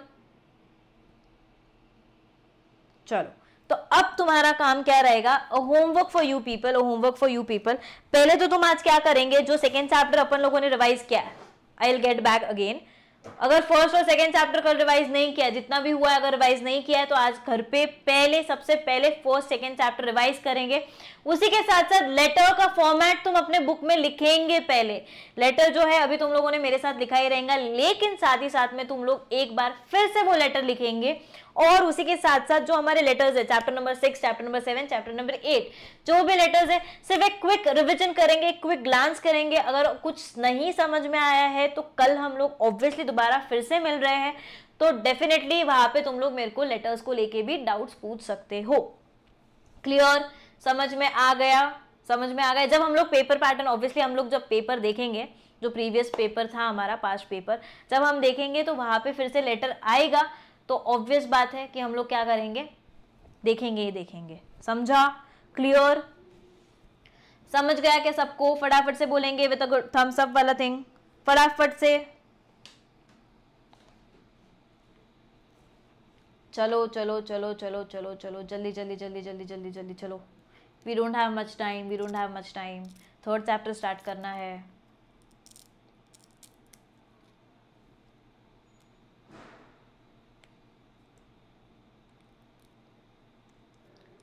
So let's start with the third chapter एक बार फिर से इंडेक्स पे जाते हैं।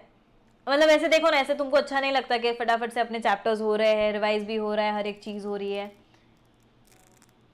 No Mokshi no you don't have to learn the correspondence अगर तुम लर्न करेंगे ना तो तुम अटक जाएँगे। तुम अगर लर्न करेंगे ना तो तुम अटक जाएँगे। तुमको लर्न नहीं करना है। इसीलिए मैंने बोला, इसलिए मैंने फॉर्मेट भी लिख के दिया है। आपको फॉर्मेट अच्छे तरीके से करना है। फिर बॉडी ऑफ़ लेटर में देखो, जब तुमको पता है कि तुम इशू कब करते हो डिबेंचर्स को? जब शेयर्स को कब इशू करते हो? तुम डिबेंचर्स का कब प्रोवाइड करते हो? तुम डिपॉजिट्स कब कर रहे हो? ये देखो ना, यहाँ पे अपना सब होगा। देखो शेयर्स डिबेंचर्स डिपॉजिट्स हर एक चीज़ यहाँ पे हो रही है तुम्हारी। तो तुमको ये पता रहेगा ऑब्वियसली कि लेटर में क्या लिखना है बॉडी में क्या लिखना है। मेरा सिर्फ़ यही बोलना है तुम लोगों को कि फॉर्मेट अच्छे से करके जाओ। एक बार फॉर्मेट हो गया ना तो लेटर जो है बॉडी का, वो तो अपन अपने आप से लिख सकते हैं। अपने अपने हिसाब से लिख सकते हैं, कोई प्रॉब्लम नहीं है उसमें। अपने हिसाब से लिख सकते हैं तो इसका मतलब ये नहीं कि तुम कुछ भी लिख के आ जाओ, तुम गाने लिख के आ जाओ, तुम कुछ भी लिख के आ जाओ। नहीं तो तुम बोलेंगे, अरे मैम ने तो बोला कुछ भी लिख के आ जाएगा, चलेगा, ऐसा नहीं चलेगा। कुछ भी लिख सकते हैं मतलब क्या है कि जो प्रॉपर चीज़ें हैं, उस टॉपिक को लेके, उस सब्जेक्ट को लेके बार बार मैं वही चीज़ बोल रही हूँ, जो भी सब्जेक्ट पूछा है क्लियरली रीड दी लेटर कि क्या पूछा है यहाँ पे, और उस हिसाब से तुमको लेटर में लिखना है। क्लियर समझ में आ गया, समझ में आ गया, चालू कर दे, चालू करे आगे का। चलो बोलो फटाफट से लेट स्टार्ट लेट स्टार्ट उसके पहले जो हम देख रहे थे ना, देखो इंट्रोडक्शन हो गया सोर्सेस हो गया अपना correspondence with members debenture holders and deposits के फॉर्मेट हो गए फॉर्मेट हो गए इन लोगों के। अब we'll be starting with the third chapter जिसका नाम है इशू ऑफ़ शेयर्स अब तुम सीक्वेंस के हिसाब से देखो, ठीक है? फ़र्स्ट चैप्टर में तुमको क्या था? फाइनेंस के बारे में था। What is finance what is corporate finance वो था। सेकेंड चैप्टर में तुमको क्या दिया है? शेयर्स के बारे में थोड़ा बहुत दिया डिबेंचर्स के बारे में थोड़ा बहुत दिया। फिर uh, किसके बारे में दिया है? डिपॉजिट्स uh, डिबेंचर्स ये सब के बारे में इंडिविजुअली तुमको बताया है। लोन्स के बारे में बताया बॉन्ड्स के बारे में बताया ये सब के बारे में तुम लोगों को बताया बराबर है कि नहीं? बराबर है कि नहीं? अब आगे जाके तुमको इंडिविजुअली हर एक में क्या क्या है वो बताएँगे। इंडिविजुअली इशू ऑफ़ शेयर्स में क्या है? इशू ऑफ़ डिबेंचर्स में क्या है? डिपॉजिट्स में क्या है? ये सब तुमको अभी आगे जाके समझेगा। बड़े आगे, चालू करे चालू करे थर्ड चैप्टर फटाफट से चलो बोलो इशू ऑफ़ शेयर्स क्या है? इशू ऑफ़ शेयर्स चलो। What is issue of shares shares का मतलब सबसे पहले तो मेरे को ये बताओ शेयर्स का मतलब क्या है? ये तो भूलना ही नहीं चाहिए, कल तो हम लोगों ने कितनी बार पढ़ा हुआ है। ये तो बिल्कुल नहीं भूलेंगे। शेयर्स का मतलब क्या है? फटाफट से बताएँगे। A share is a share of share capital what is share a share is a share of share capital simple right what is share a share is a share of share capital ये तो मतलब तुम भी नहीं भूलेंगे और कोई भी नहीं भूलेगा। मतलब नींद में भी पूछ लिया तो तुमको आना चाहिए कि शेयर का मतलब क्या है। Right right? है कि नहीं? बराबर है कि नहीं? चलो। बड़े आगे। चलो let's start with third chapter अब इसमें भी इसमें भी आ, मैं बता सकती हूँ बहुत ज़्यादा स्कोरिंग है ये बहुत ज़्यादा स्कोरिंग है ये। और थोड़े बहुत ऐसे क्वेश्चंस है जो तुम्हारे रिड्यूस वाले क्वेश्चंस है। थोड़े बहुत ऐसे क्वेश्चंस है जो तुम्हारे क्या है रिड्यूस वाले क्वेश्चंस है। तो एक बार अपन लोग रिड्यूस वाले क्वेश्चंस लिख ले इसमें से। कौन से कौन से तुम्हारे क्वेश्चन रिड्यूज है?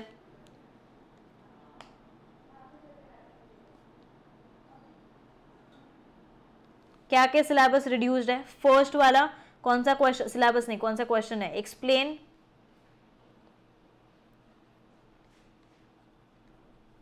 classification of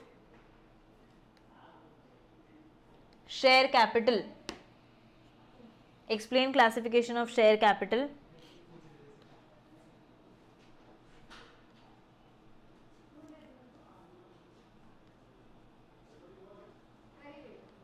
procedure for allotment of shares. Fifth third calls on arrears calls on arrears. Fourth effects of forfeiture of shares. And next is surrender of shares ये जो तुम्हारे क्वेश्चंस है, ये सारे क्या क्वेश्चंस है? Reduced वाले क्वेश्चंस है। फटाफट से फटाफट से लिख के ले लो ये सारे तुम्हारे रिड्यूस वाले क्वेश्चंस है। जल्दी जल्दी जल्दी लिख के ले लो। चलो चलो चलो चलो चलो।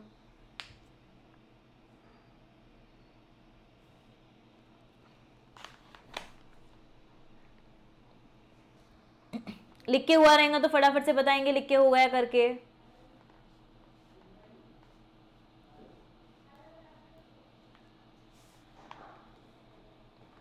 लिखे हुआ है तो जल्दी जल्दी बताएँगे, लिख हो गया करके।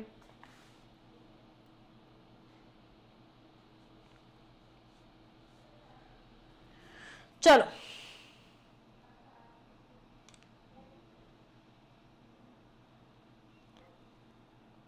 देखो, सबसे फ़र्स्ट क्वेश्चन ही तुम्हारा क्या है? रिड्यूस्ड है क्वेश्चन क्या है तुम्हारा? रिड्यूस्ड है राइट right? तो बढ़ते हैं हमारे नेक्स्ट क्वेश्चन की तरफ़. That is issue of shares तुम तुम्हारे शेयर्स को कैसे इशू करेंगे? Issue of shares a company may need capital to start a new project और एक्सपांड और डाइवर्सिफाई इट्स फ़र्स्ट चैप्टर में देखा है सेकंड चैप्टर में भी देखा है. पैसे तुमको क्यों लग रहे हैं? Why do you need money why do you need money पैसे क्यों लग रहे हैं तुमको? ऑब्वियसली तुमको एक नया बिज़नेस डालना है और जब वो बिज़नेस डालेंगे तो तुमको मैक्सिमम रिटर्न्स भी तो मिलने चाहिए, इसीलिए तो तुमको पैसे लग रहे हैं, इसीलिए तो तुमको क्या लग रहा है? कैपिटल लग रहा है, इसीलिए तो तुमको क्या लग रहा है? कैपिटल लग रहा है राइट चलो। Methods of issue of share जैसे कितने मेथड्स है कौन से कौन से मेथड्स है मैं बता सकती हूँ तुमको। इतना इंटरेस्टिंग टॉपिक है ये इतना इंटरेस्टिंग टॉपिक है। लाइक like, अगर तुम पढ़ भी लोगे ना एक बार का तो तुमको समझ में आ जाएगा अच्छा ऐसे भी होता है क्या करके। Very interesting topic very interesting chapter very very very interesting chapter चलो। कौन से मेथड्स है कितने टाइप ऑफ़ मेथड्स है ये देखो यहाँ पे चार्ट दिया हुआ है। फटाफट से तुम अपने बुक में ये चार्ट ड्रॉ करेंगे।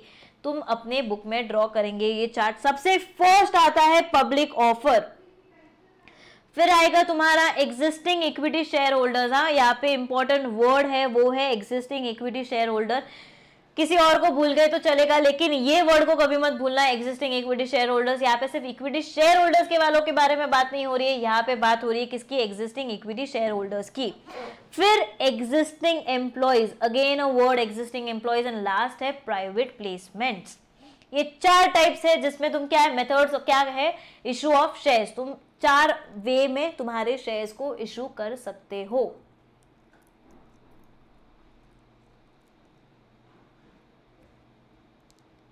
डन। चलो। पब्लिक ऑफ़र क्या है? पब्लिक ऑफ़र में दो चीज़ें, एक है आईपीओ और एक है एफपीओ आईपीओ का मतलब क्या है? क्या लग रहा है तुमको आईपीओ का मतलब क्या रहेगा? आईपीओ का मतलब है अ वेरी फ़र्स्ट टाइम जो तुम फ्रेश एकदम फ्रेश ताज़ा ताज़ा एकदम फ्रेश वाला जब तुम शेयर को इशू कर रहे हो ना, एकदम ताजे ताजे शेयर को इशू कर रहे हो, उसको हम लोग क्या बोलेंगे? IPO that is initial public offer. Initial public offer. A very fresh share जो तुम इशू कर रहे हो मार्केट में इन जनरल इन पब्लिक जो तुम इशू कर रहे हो, उसको तुम क्या बोलेंगे? IPO एंड सेम वही FPO का मतलब क्या है?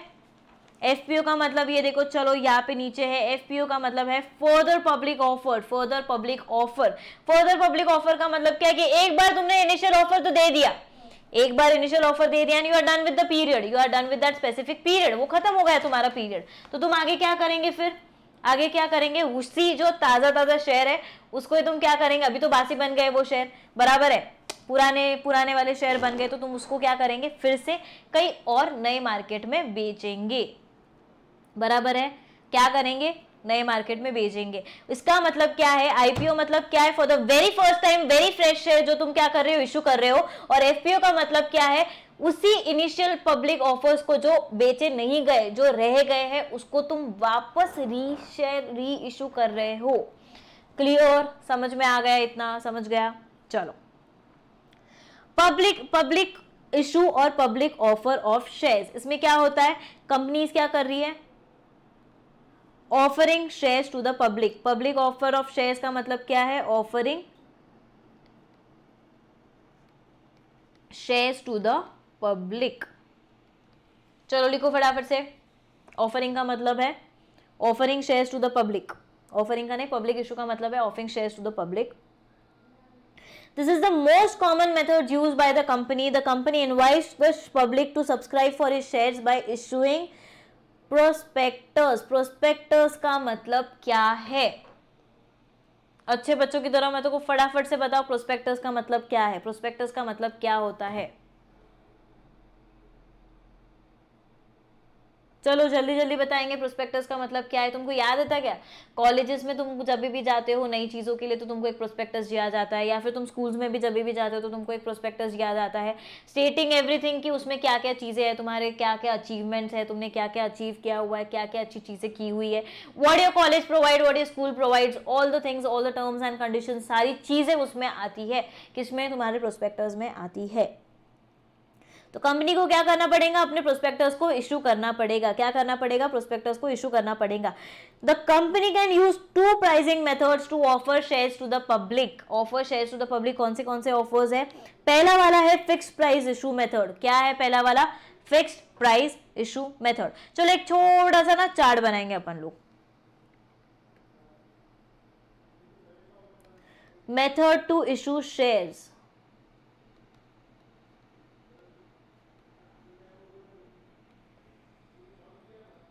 methods to issue share सबसे फ़र्स्ट वाला कौन सा मेथड है? Public issue very good Pranjali the very first document provided by the company very good very good very good public issue और पब्लिक ऑफ़र ऑफ़ शेयर्स देखो, जब जब पढ़ रहे हो ना, जब पढ़ रहे हो ना तुम तो यही इंटेंशन से ये यही दिमाग में रख के तुमको पढ़ना है कि हम जो भी भी पढ़ रहे हैं, जो भी पढ़ रहे हैं, हमको अच्छे से स्कोर करना है। हर एक सब्जेक्ट में अच्छे से स्कोर करना है। समझा गया तुम लोगों को? तो अगर वो तुम्हारे दिमाग में रहेगा तो ऑब्वियस बात है फिर क्या होने वाला है? क्या होगा फिर? ऑब्वियस बात है कि तुम अच्छे से स्कोर कर पाओगे। अगर वही चीज़ दिमाग में रहेंगी तो स्कोर ही कर पाएँगे तुम लोग। और फिर तुम सोचेंगे हाँ चलो कॉपी कर लेंगे, ये कर लेंगे। कुछ होना नहीं है, मैं अभी बता रही हूँ। अगर तुमको सक्सेसफुल होना है कोई भी चीज़ में तो you don't have to copy तुमको आराम से खुद की दिमाग चला के तुमको पेपर लिखना है, नहीं तो फिर कोई भी फ़ायदा नहीं है। और वही जाके आगे अगर तुम सोच भी रहे हो कि तुम प्रोफेशनल कोर्स करोगे that is C A C A में सी एस या कोई एम बी ए करेगा या कोई फाइनेंस में मतलब बैंकिंग करेगा, तुम्हारे हिसाब से जो भी तुम कोर्स करोगे तो तुम कहीं पे भी सक्सेसफुल नहीं बन पाएँगे अगर तुम सिर्फ़ कॉपी करने पे बैठे रहेंगे तो। कोई भी सेंस नहीं बनेगा। चलो, जाए आगे। पब्लिक इशू और पब्लिक ऑफ़र ऑफ़ शेयर्स यहाँ पे कौन से प्राइसिंग के दो मेथड्स है? कौन से कौन से दो मेथड्स है? लिखते हैं, चलो, दो मेथड्स है। एक है फिक्स्ड प्राइस इशू मेथड और दूसरा क्या है? एक तो है फिक्स प्राइस इशू मेथड्स और एक एक दूसरा क्या है? बुक बिल्डिंग मेथड कोई भी डाउट रहेगा, कोई भी ऐसे रहेगा कि, मैम, ये कैसे पढ़ना है, वो कैसे पढ़ना है, कुछ भी क्वेरी रहेंगी तो तुम क्या कर सकते हो? तुम मैसेज कर सकते हो, तुम कमेंट सेक्शन में आफ्टर वॉचिंग द लेक्चर तुम कमेंट सेक्शन में डाल सकते हो, जो भी डाउट रहेगा, जो भी क्वेरी रहेंगी। बिंदास डाल दो we are there to help you we are there to help you जो भी डाउट्स रहेगा डेफिनेटली क्लियर होगा। Not immediately but we'll try कि नेक्स्ट एटलीस्ट जब नेक्स्ट लेक्चर रहेगा, वो डेफिनेटली क्लियर रहेगा। कैसे पढ़ना है, क्या पढ़ना है, क्या करना है, जो भी रहेगा, आप कमेंट सेक्शन में डाल सकते हो। चलो। Fix price issue method fix price issue method में क्या होता है, हम लोग देखेंगे। Under this method the company states in the prospectus the quantity and the price at which the shares are offered fixed है। तुम देखते हो ना कभी भी मॉल में या कभी भी शॉप में जाते हो तो वहाँ पे बाहर ही दिया रहता है। नो डिस्काउंट तुम कितना भी बोलोगे तुमको कोई भी डिस्काउंट नहीं मिलेगा। The prices of the product prices of goods are fixed एकदम से फिक्स्ड है कुछ भी चेंजेस नहीं होने वाले हैं उसमें। है कि नहीं? Under this method, the company state and its uh, prospectors the quantity and the price at which the shares are offered to the public. The subscribers or investors are asked to pay a certain portion of face value of shares. Face value क्या है shares का क्या face value था shares का फटाफट से बोलो hundred rupees और entire issued price along with the application sorry one और टेन रुपीज था The company comes to know the demand of its shares only after the subscription period ends. Company can issue shares at par or premium. अच्छा par and premium वाला concept आप लोगों को पता रहेगा मेरे ख्याल से। एक जो शेयर है, वो तुम्हारा दस रुपए में है तो तुम उसको दस रुपए में बेच रहे हो मतलब क्या है? एट पार अगर तुम उसको पंद्रह रुपए में बेच रहे हो तो क्या है? एट प्रीमियम जिसमें से पाँच रुपए तुम्हारे क्या रहेंगे? प्रीमियम पे तुमने पे मतलब एट प्रीमियम तुम बेच रहे हो, बराबर है? और अगर तुम इसको नौ रुपए में बेच रहे हो मतलब क्या है? You are selling it at discount rate you are selling it at what discount rate बराबर? चलो। देखो, जब पब्लिक ऑफरिंग होती है, एक बार में जब पब्लिक इशू मतलब जब कंपनी ने इशू किया है शेयर्स को, और जब पब्लिक खरीदती है उसको तो जैसे ही पब्लिक खरीदती है कंपनी को भी समझता है ना कि किसका डिमांड कितना है और क्यों है और किस क्या, क्यों नहीं है। बराबर है कि नहीं? किसका डिमांड ज़्यादा है, किसका डिमांड कम है, उनको भी समझ में आ जाता है और उस हिसाब से वो सब्सक्रिप्शन भी कर लेते हैं फिर बाद में। बराबर? The company comes to know the demand of its shares only after the subscription period ends. Company can issue shares at par and premium. Fixed price method is used for all types of issue that is public issue हो, right issue हो, ESOS हो या etc. E, ESOS हो. ESOS क्या होता है आगे आएगा टेंशन मत लीजिए आप बिल्कुल भी चलो समझ गया फिक्स प्राइस जहाँ पे तुम्हारा शेयर्स का प्राइस ऑलरेडी फिक्स्ड है already it is fixed already given है, तुमको उसमें कुछ भी मतलब बार्गेनिंग वाला पार नहीं मिलेगा। इट इज़ ऑलरेडी फिक्स्ड उसको बोलेंगे fixed price issue method book building method अभी ये बुक बिल्डिंग मेथड में तुमको काफ़ी कंसेप्ट आने वाले हैं जो तुमको ध्यान में रखना है। मैच द फॉलोइंग में काफ़ी चांसेस हैं आने के लिए। Under this method the issuer determines the number of shares and the issue price at which the shares will be sold by bidding process. यहाँ पे क्या होता है? बिडिंग प्रोसेस होता है। यहाँ पे क्या होता है? बिडिंग वाला प्रोसेस होता है। बराबर? The company issues a red herring prospectus ऊपर क्या था? सिर्फ़ एक नॉर्मल प्रोस्पेक्टस इशू कर रही थी। यहाँ पे book book keeping method book building method में क्या होता है? रेड हियरिंग प्रोस्पेक्टस इशूज कर रही with range and price band and ask the investor to bid on it the lower end of the price band is called as floor price. The lower end of the price is called as floor price. And with the highest end it is called as cap price बराबर है ना? देखो ना lower and मतलब क्या होता है? Floor price lower नीचे. और हाईएस्ट प्राइस मतलब क्या रहेगा? तुम्हारा कैप प्राइस रहेगा. और ceiling price The final price at which the shares are offered to the investor is called as cut offer price. अभी तक क्या समझा? रेड हेयरिंग प्रोस्पेक्टस इशू करती है कंपनी और उसी के साथ साथ उसमें तुमने क्या देखा? जो लोअर प्राइस है उसको क्या बोलेंगे? फ्लोर प्राइस और जो हाईएस्ट प्राइस है उसको क्या बोलेंगे तुम? Cap price and and cap price और सीलिंग प्राइस और जिस प्राइस पे तुम्हारा शेयर फिक्स्ड होता है दैट इज़ जिस प्राइस पे तुम्हारा फिक्स uh, होता है उसको तुम क्या बोलेंगे? कट प्राइस उसको तुम क्या बोलेंगे? Cut off price investor can bid any number of shares that they are willing to buy at any price within the price band bidding is kept open for five days कितने दिन के लिए open रहती है? पाँच दिन के लिए. पाँच दिन के लिए किन के बिडिंग ओपन रहती है और उसी टाइम पे तुमको क्या करना है? किस हिसाब से तुमको शेयर बेचना है, किस पे तुमको क्या प्राइस पे शेयर बेचना है, वो तुम क्या करेंगे? इसी फाइव डेज़ में तुम डिसाइड करके रखेंगे। The bidding along with the application money is to be submitted to the lead merchant bankers called as book runners who enters the bid in in a book after bidding is over, company fixes cut off price based on the highest or best price at which all shares and offer can be sold. Company issue prospectus which contains the final price and book building method is used for public issue, that is IPO and FPO. Final price जब तुम्हारा issue होता है, जब तुम्हारा final price decide होता है, तब तुम्हारा नॉर्मल प्रोस्पेक्टस भी इशू होता है कंपनी की तरफ़ से। लेकिन अगर उसके पहले बिडिंग वाला सिस्टम होता है, तब तुम्हारा क्या इशू होगा? रेड इयरिंग प्रोस्पेक्टस इशू होने वाला है। उसके बाद लोअर लोअर प्राइस को बोलेंगे। फ्लोर प्राइस हाईएस्ट प्राइस को बोलेंगे cap price and at the time जो भी प्राइस तुम्हारा डिसाइडेड रहेगा जो भी फाइनल प्राइस रहेगा जो भी बेस्ट प्राइस रहेगा उसको तुम क्या बोलने वाले हैं? कट ऑफ़ प्राइस बोलने वाले हैं। फिर ये बिडिंग तुम्हारा कितने दिन तक चालू रहेगा? पाँच दिन तक रहेगा पाँच दिन तक बिडिंग रहेगा पाँच दिन तक तुम बिडिंग कर सकते हो। और इसी के साथ साथ जब भी, भी तुम्हारा बिडिंग भी तुम डिसाइड हो जाता है and you are the lucky winner right तो तुम क्या करेंगे? एप्लीकेशन मनी के साथ साथ तुम क्या करेंगे? एप्लीकेशन मनी के साथ साथ तुम किसको देंगे?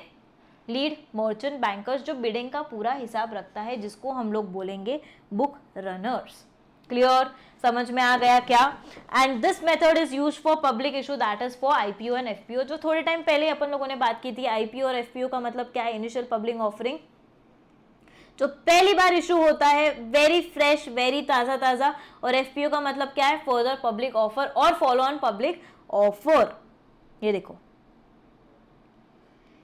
refers to the process of offering shares of a company to the public for the very first time or or IPO before a IPO company is not a listed company and its shares are privately held but after IPO company becomes a listed company and its shares can be bought and sold by the investors in open market FPO का मतलब क्या है FPO का मतलब क्या है it is also called as follow on public offer when a company issue share to the public after an IPO it is called as FPO when a when a company issues shares to the public after an IPO it is called as FPO that is for the public offer. Clear? समझ में आ गया? और एक last point है F P O leads to an increase in the subscribe capital of the company समझ में आया क्या सबको? क्लियर हो गया क्या सबको? जल्दी जल्दी बोलेंगे क्लियर हो गया क्या सबको? हो गया क्या क्लियर चलो, जल्दी जल्दी, फटाफट फटाफट से बताओ, फटाफट से बताएँगे क्लियर हो गया क्या? सो so दैट आगे बढ़ते आएगा।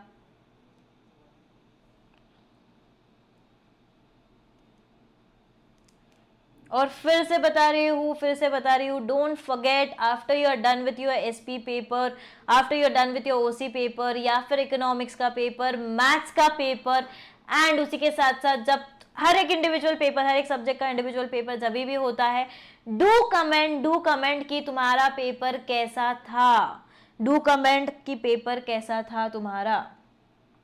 चलो, चालू करें। नेक्स्ट है हमारा offering share to existing equity share बाबा, यहाँ पे फिर से मैं बोल रही हूँ, क्या है ये? Existing equity shareholder existing equity shareholder company में raise funds by offering shares to its existing equity shareholders as follows याद आ रहा है क्या? कल बात हुई थी अपनी राइट इशू और बोनस इशू तो मेरे को जल्दी जल्दी बताएँगे कि राइट इशू और बोनस इशू जो है वो कौन से टाइप ऑफ़ शेयर होल्डर्स को मिलते हैं? इक्विटी शेयर होल्डर को ये आ, मतलब फीचर्स है या राइट्स मिलते हैं या प्रेफरेंस शेयर वालों को मिलता है? किसको मिलता है, किसको मिलता है right issue and bonus issue का जो बेनिफिट है वो किसको मिलता है? इक्विटी शेयर होल्डर वालों को या प्रेफरेंस शेयर होल्डर वालों को? किसको मिलता है? चलो बोलो, जल्दी जल्दी बोलो। ध्यान में रहेगा तो। ये आंसर में सब कुछ है, तुमको आंसर में दिया हुआ है वो किसके किसमें मिलता है करके। बट फिर भी मैं तुम लोगों से सुनना चाहती हूँ ऑब्वियसली कि ये किसको मिलता है करके। इक्विटी शेयर होल्डर वालों को या प्रेफरेंस शेयर होल्डर वालों को? ऑब्वियसली ऑब्वियसली ये देखो, यहाँ पे लिखा हुआ है equity share holders equity share holders वालों को ये राइट right मिलता है. कौन सा? Right issue and bonus issue जो है very good very good very good equity shareholders को मिलता है. Right issue when a person want to raise further capital, that is F P O की बात चल रही है, यहाँ पे आईपीओ की बात नहीं चल रही है। When a company wants to raise further capital, it can issue share at existing equity shareholder in the proportion of their existing shareholding in the proportion of existing shareholding, such an issue of share is called as right issue of the share जो भी तुम्हारे share है, वो तुम किसको दे रहे हो? वो तुम तुम्हारे एग्जिस्टिंग इक्विटी शेयर होल्डर्स को दे रहे हो। किसको प्रोवाइड कर रहे हो? एग्जिस्टिंग इक्विटी शेयर होल्डर्स को प्रोवाइड कर रहे हो। इसका मतलब क्या है? और कौन से वे में प्रोवाइड कर रहे हो? कौन से in the proportion to their shareholders existing shareholdings whenever company needs further issue of share the existing shareholders have preemptive rights preemptive rights to subscribe to the new share offered by the company preemptive rights मतलब क्या है? यहाँ पे दिया हुआ है already means first option to buy company ने share issue कर दिए, ठीक है? कंपनी ने शेयर्स को इशू कर दिया। तो सबसे फ़र्स्ट प्रायोरिटी वो शेयर्स को बाय करने की किसकी रहेंगी? सॉरी कौन बाय करेगा? सबसे फ़र्स्ट प्रायोरिटी किसकी रहेंगी? किसको मिलेगा फ़र्स्ट सबसे फ़र्स्ट राइट ऑब्वियसली तुम्हारे एग्जिस्टिंग शेयर होल्डर को मिलेगा। किसको मिलेगा? एग्जिस्टिंग शेयर होल्डर को मिलेगा। घर के इंसान है ना? तो पहले जो भी जाएगा वो किसमें जाएगा? घर के इंसान में जाएगा। उसी के बाद हम लोग क्या करेंगे अगर कुछ बचा? तो बाहर के इंसान को देंगे फिर। राइट चलो। अच्छा ये जो प्रोविजंस है, ये तुम लोग पढ़ेंगे। ये जो प्रोविजंस है, वो क्या करेंगे? तुम लोग पढ़ेंगे।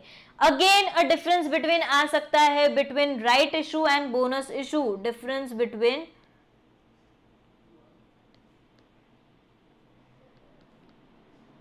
right issue and bonus issue ये तुमको आ सकता है। क्लियर समझ गया? चलो। बोनस इशू बोनस मतलब क्या होता है? बोनस मतलब क्या होता है जो तुमको फ्री में शेयर्स मिल रहे हैं? वो। बोनस मतलब क्या होता है? जो तुमको फ्री में शेयर्स मिल दिवाली में तुम अपने सर्वेंट्स को देते हो वर्कर्स को देते हो स्टाफ को देते हो बोनस देते हो, बराबर है कि नहीं? तुमको ध्यान में रहेगा तो। तो वैसे ही सेम जो भी शेयर्स है, जो भी शेयर्स है, वो क्या करते तुम लोग? ऑब्वियसली तुम्हारे एग्जिस्टिंग शेयर होल्डर्स को फ्री ऑफ़ कॉस्ट में प्रोवाइड करते हैं। Bonus are fully paid up shares issued free of cost to the existing shareholders in proportion to the shareholding usually financially sound company issues shareholders out of its accumulated distributable profits and reserves. जो भी तुम्हारा profit रहेगा, जो भी तुम्हारा reserve रहेगा, उसमें से ही दिया जाएगा। ज़्यादा प्रॉफिट हो रहा है तो कंपनी ने सोचा कि चलो बोनस दे दिया जाए। बराबर है कि नहीं? या ऐसे तुमको बोनस दे देंगे। कुछ अच्छा काम किया रहेगा तो ऑब्वियसली तुमको बोनस दिया जाएगा। उसी हिसाब से अगर कंपनी प्रॉफिट कमा रही है और वो भी बहुत बेहतरीन तरीके से प्रॉफिट कमा रही है तो तुमको क्या मिलेगा? क्या मिलेगा तुमको? बोनस मिलेगा। समझा? क्लियर डन डन चलो। जाए आगे। ये सब, ये देखो, जो प्रोविज़न है, ये तुमको रीड करने हैं। क्लियर नेक्स्ट है नेक्स्ट है थर्ड है। That is offering shares to the existing employees offering shares to the existing employees a company can raise funds by offering shares to it existing employees as जो ऊपर बोला था मैंने ई आएगा तुमको।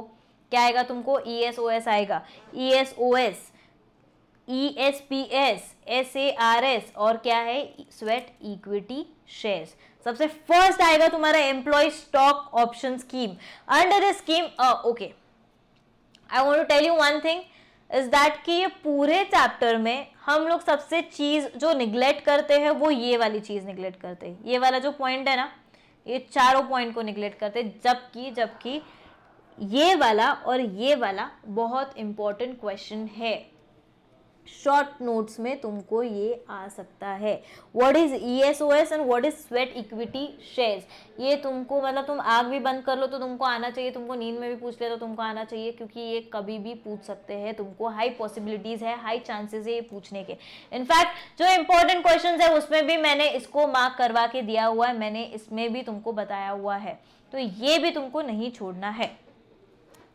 Under the scheme permanent employees directors or officer of the company or its holding company or its subsidiary company are offered the benefit or right to purchase the equity shares at a future date at a predetermined price इसका मतलब क्या है इसका मतलब ये है कि future date में आप कभी भी खरीद लो शेयर मेरे को चलेगा मेरे को कोई प्रॉब्लम नहीं है और वही शेयर तुमको कौन से प्राइस पे मिलेगा एग्जिस्टिंग जो स्टार्टिंग में प्राइस डिसाइड हुआ है ना उसी प्राइस पे मिलेगा कभी कभी कैसा होता है ना शेयर का प्राइस बढ़ जाता है ना बराबर है कि नहीं? तो जब भी तुमको खरीदना रहता है, जो भी बढ़ा हुआ प्राइस रहता है, उसी हिसाब से खरीदना पड़ेगा। लेकिन लेकिन एम्प्लॉय स्टॉक ऑप्शन स्कीम में क्या होता है? जो प्री डिटरमाइंड प्राइस है, जो पहले वाला प्राइस है, वही तुम पे कर सकते हो, भले तुम आगे जाके फ्यूचर में कभी भी पे करोगे, चलेगा, मेरे को कोई भी प्रॉब्लम नहीं है। और यही प्राइस रहेगा। प्री डिटरमाइंड प्राइस रहेगा तुम लोगों का। Encourages employees as they feel proud to be the owners of the company for which they are working and company also benefits as it it can retain good employees ये special scheme किसके लिए है ये special scheme जो है ये है तुम्हारे एम्प्लॉयज़ के लिए सो so दैट कैसे अभी तुमको भी पता है एम्प्लॉयज़ तुम्हारे यहाँ पे काम कर रहे हैं तो ऑब्वियस बात है अगर एम्प्लॉयज़ काम कर रहे हैं तुम्हारे यहाँ पे तो रिटेन भी तो करना पड़ेगा ना अच्छा काम चल रहा है, सब कुछ अच्छा चल रहा है प्रॉफिट भी हो रहा है तो वो जो एम्प्लॉयज़ है, उनको तो रिटर्न करना पड़ेगा। रिटेन मतलब उनको तो संभाल के रखना पड़ेगा ना तुम लोगों को। है कि नहीं? संभाल के रखना पड़ेगा तो दे दिया जाए उनको भी कोई स्टॉक ऑप्शन स्कीम बराबर? फिर अपन लोग डायरेक्टली आएँगे एम्प्लॉय स्टॉक अच्छा जो भी प्रोविज़न छोड़ रही हूँ मैं मतलब छोड़ नहीं रही हूँ, ये तुम्हारे लिए रीडिंग के लिए है। तुम्हारा होमवर्क रहेगा आज का कि तुमको ये सारे प्रोविजंस पढ़ने हैं। मैं कल तुम लोगों को पूछूँगी। सारे प्रोविजंस पढ़ने हैं। Employee stock purchase scheme under this scheme the company offers equity share to its employee at a discounted price which they can buy at a future date यहाँ पे क्या दिया है तुमको? जो भी प्राइस दिया हुआ है, वो डिस्काउंटेड प्राइस पे दिया हुआ है। जो भी शेयर है, वो क्या है? डिस्काउंटेड प्राइस पे तुमको शेयर दिया हुआ है प्राइस दिया हुआ है। The company deduct certain amount from the salary और सबसे बेस्ट चीज़ तो है कि सैलरी में से डिडक्शन हो रहा है। तुमको अलग से कुछ पे करने की ज़रूरत नहीं है। जो भी तुम्हारी सैलरी है ना, उसमें से तुमको डिडक्शन हो रहा है। तो you don't have to worry about that also Third है stock appreciation right scheme. Under the scheme, the employees are given a right to receive appreciation in the value of specified number of shares of the company at a future date. जो भी चीज़ हो रही है वो तुमने एक बार observe की रहेंगे जो भी हो रहा है वो सारा फ्यूचर डेट पे हो रहा है वो सब कुछ क्या हो रहा है फ्यूचर डेट पे बात चल रही है अप्रिसिएशन बोलो या उसके पहले का तुम एम्प्लॉय स्टॉक परचेज का बात करो या एम्प्लॉय स्टॉक ऑप्शन स्कीम का बात करो બરાબર the company allots a specified number of stock appreciation right units that are linked to the value of the company shares on the date of the allotment. Right? On the relevant date that is the future date depending upon the appreciation in the value of shares which are linked to SAR units the employees paid the appreciation in cash or through equity shares. That is through electronically bhi ho sakta hai SARS is a form of bonus compensation given to the employees if the company performs well and its market price of shares goes up. ये देखो। जो भी है सब existing लोगों के लिए है। जो भी है किसके लिए है? एग्जिस्टिंग शेयर होल्डर्स के लिए है। जिनको ज़्यादा हेल्पफुल रहेगा, उनके लिए है। ताकि तुम्हारे एम्प्लॉयज़ क्या रहे? फिर से बताओ मेरे को एम्प्लॉयज़ क्या रहे? तुम्हारे रिटेन रहे। तुम्हारे एम्प्लॉयज़ टिके रहे। दैट इज़ इंपॉर्टेंट चलो The employee does not have to pay for buying any share. Company has to give a employees a vesting period of minimum one year. कितना है vesting period इनका one year का to exercise his option. There is no lock period for SARS. to issue SARS, company has to get approval of shareholders through a special resolution. Special resolution pass करना पड़ेगा तुमको पता रहेगा resolution अलग अलग type के रहते हैं स्पेशल रिजोल्यूशन होता है ऑर्डिनरी रिजोल्यूशन होता है सारे अलग अलग टाइप के रिजोल्यूशन होते हैं and last is equity shareholders this are the shares issued by the company to its directors or employees at a discounted or consideration other than the cash other than the cash it is issued in the recognition of their valuable contribution to the company which has resulted in increased profit Equity shares rank pari passu with other equity shares. These shares have a lock-in period of three years that is they cannot be transferred during this period. Lock-in period मतलब क्या है उस period of time में कोई भी shares तुम transfer नहीं कर सकते Transfer of shares मतलब क्या shares equity shares है उसको preference share में convert करो या preference share को equity में convert करो या debenture में convert करो या debenture से equity में convert करो सब में से तुम कुछ भी नहीं कर सकते कोई भी चीज़ को transfer नहीं कर सकते company has to get approval of shareholders through special resolution to issue sweat equity shares समझा एंड लास्ट पॉइंट जो हमारा है वो है private placement when a company offer its securities to select a group of person not exceeding 200 it is called as private placement it is not exceeding 200 200 से ज़्यादा exceeding नहीं है उसको अपन लोग क्या बोलेंगे private placement बोलेंगे so again a very important very important question बहुत इंपॉर्टेंट क्वेश्चन था ये। और हाँ तुम बोलेंगे, मैडम, बहुत बड़ा है इसको लर्न कैसे करेंगे? देखो लर्न इसमें तुमको बाकी कुछ नहीं करना है, सिर्फ़ एक लर्न करना है। बाकी तो तुम आराम से लिख पाओगे because sorry you know the concept अभी तो तुमको कंसेप्ट भी और क्लियर हुए रहेंगे रिविजन के बाद। लेकिन लेकिन लेकिन, इसको कभी मत भूलना। अगेन जैसे मैंने बोला था ना एग्जिस्टिंग को कभी मत भूलना। तो इसको भी कभी मत भूलना। ये बहुत इंपॉर्टेंट है। चारों पॉइंट्स है, चारों में से E S O S that is employee stock option scheme और स्वेट इक्विटी शेयर्स ये दोनों क्वेश्चन मैं फिर से लिख के दे रही हूँ। That is E S O S ये पहला वाला है और दूसरा है sweat equity shareholder shed sweat equity shares बहुत इंपॉर्टेंट है। इन दोनों को भूलना मत। जितना भी होगा, चलेगा, ये दोनों तो तुम करके ही जाएँगे। इन दोनों को भूलना मत। समझा? क्लियर हो गया। जैसे खाने को नहीं भूलते, सोने को नहीं भूलते, बराबर है, वैसे इन दोनों को भी मत भूलना। और ये लर्निंग पार्ट है ना तो मेरे को पता है कि तुम इग्नोर करेंगे, तुम लोग इसको बोलेंगे कि छोड़ दे, जाने दे यार जब आएगा खुद के मन से लिखेंगे। ऐसा मत करना, ऐसा मत करना इसमें। समझा? चलो।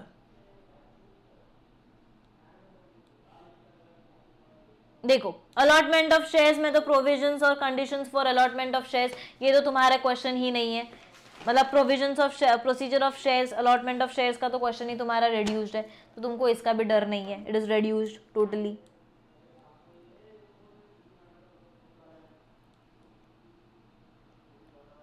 share certificate a very important question again share certificate यार तुमको तो पता ही है। किसको दिया जाता है शेयर सर्टिफिकेट बोलो फटाफट से शेयर सर्टिफिकेट किसको दिया जाता है? किसको देंगे शेयर सर्टिफिकेट किसको देंगे? बोलो। किसको देंगे शेयर सर्टिफिकेट किसको देते हैं?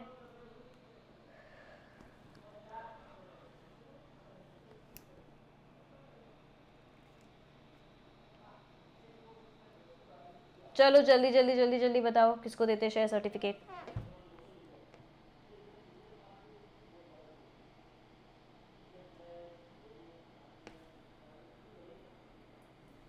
obviously obviously shareholders को।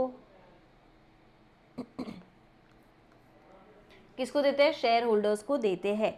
It is a registered document issued by a company which is an evidence of ownership of a specified number of shares of the company. A share share certificate is a prima facie या evidence to the title of the share कि, बाबा, इसने title मतलब इसने share खरीदा हुआ है। ये शेयर होल्डर है हमारे कंपनी का और इसको हम लोग क्या देने वाले हैं? क्या देने वाले हैं? हमारा शेयर सर्टिफिकेट देने वाले जिसमें लिखा है कि इसने कितने शेयर्स खरीदे हुए हैं। तुम जब क्या बोलते हैं उसको एनुअल डे वगैरह रहता था तो तुमको सर्टिफिकेट्स मिलते थे। तुम इसमें जीत गए उसमें जीत गए इसमें हो हा, हार गए तो नहीं मिलेगा। बट सर्टिफिकेट्स मिलते हैं राइट डिफरेंट डिफरेंट एग्ज़ाम्स के तुम्हारे सर्टिफिकेट्स रहते हैं काफ़ी चीज़ें रहती है। तो शेयर सर्टिफिकेट भी वैसा ही है।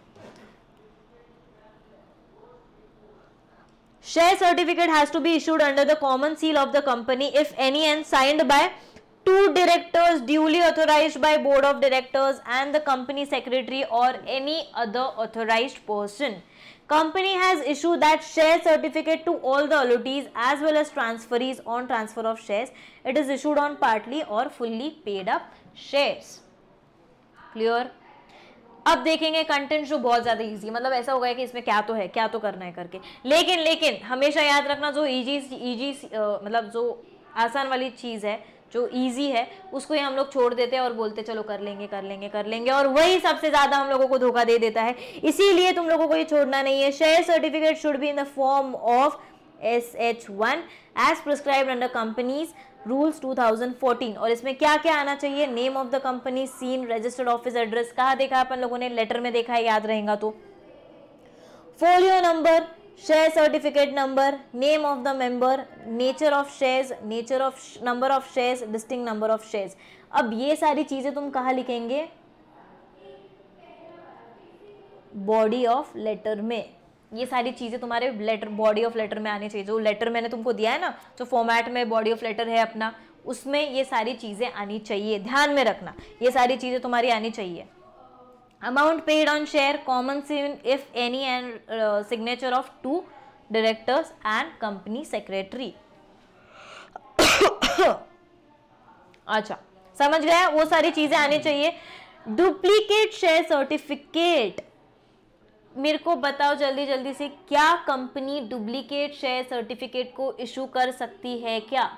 क्या कंपनी डुप्लीकेट शेयर होल्डर्स को इशू कर शेयर सर्टिफिकेट को इशू कर सकती है क्या? डुप्लीकेट शेयर सर्टिफिकेट इशू हो सकता है। क्या बताओ? जल्दी जल्दी से बताएँगे तुम लोग।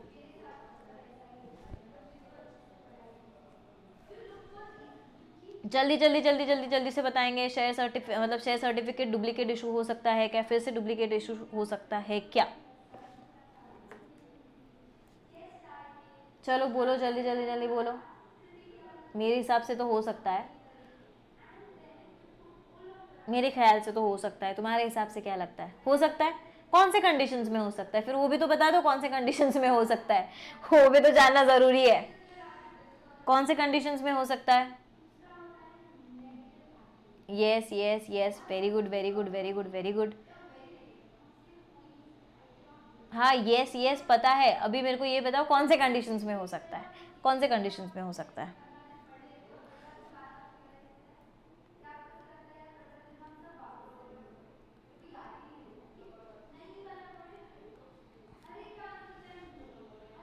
अरे हाँ यस यस यस हो गया अभी। ये बताओ, कौन से सर्कमस्टांसेस में, कौन से सिचुएशंस में हो सकता है? देखो थोड़ा सा इंटरक्टिव रखो, तुम भी फटाफट से जवाब दो मेरे को। तो मतलब कैसे, तुम लोग, मेरे को भी समझेगा कि तुम लोगों को कितना आ रहा है, कितना समझ में आ रहा है करके। कितना याद है तुम लोगों को right lost loss of wow wow बहुत अच्छा जवाब दिया। ओके गुम हो गया तो या फिर unsecured इशू और मिसप्लेस्ड और और it is destroyed or loss of share. और फट गया तो फट, अरे, वो तो दिया ही नहीं तुमको, तुमने, वो तो बुला ही नहीं तुमने। अगर गलती से फट फट गया तो फिर क्या करेंगे तुम लोग? हाँ डिस्ट्रॉयड तो है, लेकिन फट गया है तो फट भी सकता है ना वो तो? हाँ डिस्ट्रॉयड है वेरी गुड हाँ वो भी हो सकता है। बराबर है। A company can issue share certificate if original share certificate has been deface mutilated और torn and surrender to the company उस चक्कर में तुम क्या कर सकते हो? तुम्हारा इशू हो सकता है शेयर सर्टिफिकेट वापस। It has been proved by the holder that the original share certificate is lost और डिस्ट्रॉयड मतलब पहले तो उन्होंने बताया कि कौन से कौन से सर्कमस्टांसेस में तुमको वापस से डुप्लीकेट शेयर सर्टिफिकेट इशू हो सकता है। और दूसरे इसमें क्या दिया हुआ है? दूसरे इसमें क्या दिया हुआ है? तुमको प्रूफ देना पड़ेगा, तुमको वो प्रूफ करना पड़ेगा कि तुम्हारा जो सर्टिफिकेट है वो लॉस्ट हो गया है या फिर डिस्ट्रॉय हो गया है। In case of loss of certificate the company puts up a notice in the newspaper to announce the loss of the share certificate और अगर ये न्यूज़ पेपर में डाला है हम लोगों ने, कौन से सर्कमस्टांसेस में? अगर तुम्हारा न्यू अगर तुम्हारा गुम हो गया है, अगर तुम्हारा गुम हो गया मतलब अगर तुम्हारा खो गया है पेपर राइट शेयर सर्टिफिकेट खो गया है तो कंपनी क्या करेंगी? न्यूज़पेपर में देंगी और अगर सामने वाले किसी भी इंसान को मिल रहा है वो paper certificate I am sorry अगर सर्टिफिकेट मिल रहा है तो वो डायरेक्टली जाके शेयर होल्डर को देगा या कंपनी को देगा? क्या लगता है तुम लोगों को? क्या लगता है तुम लोगों को? वो डायरेक्टली जाके शेयर होल्डर को देगा। किसको देगा वो? शेयर होल्डर को देगा। नहीं नहीं नहीं। वो डायरेक्टली जाके किसको देगा? कंपनी को देगा। शेयर होल्डर के हाथ में नहीं देगा कंपनी के हाथ में जाके देगा। And ask the filer if any to return it to the company. If company does not get any uh, response from the uh, public within the specified time, the company can issue a duplicate certificate. Duplicate certificate should be issued within 3 months from the date of application. Company issues it only to the registered shareholder. The duplicate shareholder should be stated on the board that it is a duplicate share certificate. मतलब तुम देखो कि कितना ध्यान रखा जाता है हर एक चीज़ का हर एक चीज़ का इक्वली कितना ध्यान रखा जा रहा है? अगर तुम डुप्लीकेट शेयर सर्टिफिकेट भी दे रहे हो, अगर तुम डुप्लीकेट शेयर सर्टिफिकेट भी दे रहे हो तो फिर वहाँ पे ऊपर से स्टेट कर देना कि ये डुप्लीकेट शेयर सर्टिफिकेट है। सो so दैट उसी शेयर सर्टिफिकेट का कोई गलत वे में इस्तेमाल ना करे। इसीलिए कंपनी इतना सारा ध्यान दे रही है। Company has to pay heavy penalty if it is issued duplicate certificate with the intent to default अभी मैंने बोला कोई भी गलत हाथ में नहीं होना चाहिए या कोई गलत काम नहीं होना चाहिए इसलिए फिर तुमको क्या करना पड़ेगा? ऑब्वियस बात है। क्या तुमको करना पड़ेगा? वहाँ पे लिखना पड़ेगा कि ये डुप्लीकेट शेयर सर्टिफिकेट है और उसी के साथ साथ तुमको कंपनी जब भी, भी इशू करती है तो उसको पेनल्टी पड़ेगी अगर वो कोई भी फ्रॉड के वे में डुप्लीकेट शेयर सर्टिफिकेट बना रहे हैं। तो समझ गया? अगर समझ गया तो फटाफट से मेरे को हम सब देंगे फटाफट से बताएँगे कि समझ गया करके। चलो जल्दी जल्दी जल्दी जल्दी बोलो। ये चैप्टर का बस एक लास्ट पॉइंट बचा है लास्ट पॉइंट बचा है और फटाफट से खत्म करेंगे and we are done with the third chapter also सिर्फ़ थोड़ा सा पॉइंट बचा है, थोड़ा सा। और जो सबसे ज़्यादा इंटरेस्टिंग है और सबसे ज़्यादा इंपॉर्टेंट है ये चैप्टर का। क्योंकि ये transfer of share sorry surrender of shares forfeiture of shares ये तो सारा सब कुछ आपका रिड्यूस्ड है। बस बाकी है अभी transfer of shares and transmission of shares ये हम लोग डायरेक्टली पढ़ेंगे कहाँ से? डिस्टिंग्विश बिटवीन से।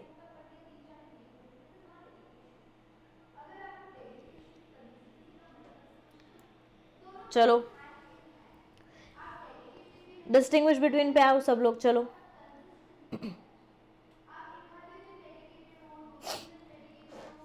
और ज़्यादा करके तुमको डिफरेंस बिटवीन ही आने वाला है तो ये तो तुम रेड से L D R L D R Akash sir हमेशा हमको पढ़ाते हैं। मतलब हमेशा जब भी हम पढ़े आकाश सर से तो आकाश सर ने हमेशा बोला हुआ है कि एल डी आर मतलब मतलब जो भी तुमको ऐसे लग रहा है ना, और बहुत सारी चीज़ें हम लोगों को मार्क करवाई है वैसे। जो भी ऐसे लग रहा है ना, उसको एल डी आर मार्क करो। जो भी ऐसे लग रहा है मतलब क्या? Last day revision last day revision मतलब लास्ट डे रिविजन तो तुम बाकी का सब कुछ करो ही करो, लेकिन इसको कभी मत भूलना। ये क्वेश्चन को कभी मत भूलना, उसको तुम क्या मार्क करेंगे? एलडीआर मार्क करेंगे। तो तुम ये क्वेश्चन को एलडीआर मार्क करेंगे। ये स्पेशल ट्रिक है हमारे आकाश सर की, जो बहुत अच्छा और जो बहुत हेल्पफुल है, मैं बता रही हूँ तुम लोगों को, बहुत ज़्यादा हेल्पफुल है ये। तो डू मेंटेन तुम लोग भी करो, ये अच्छी आदत लगवा दो, तुम अपने आप को भी तो तुम्हारे लिए भी बहुत ज़्यादा हेल्पफुल रहेगा ये चीज़। Meaning transfer of shares mean voluntarily or deliberately giving any one's share to another person by entering into a contract. Or b a, a person that is i i am transferring my shares खुद के मर्ज़ी से. Voluntarily मतलब क्या?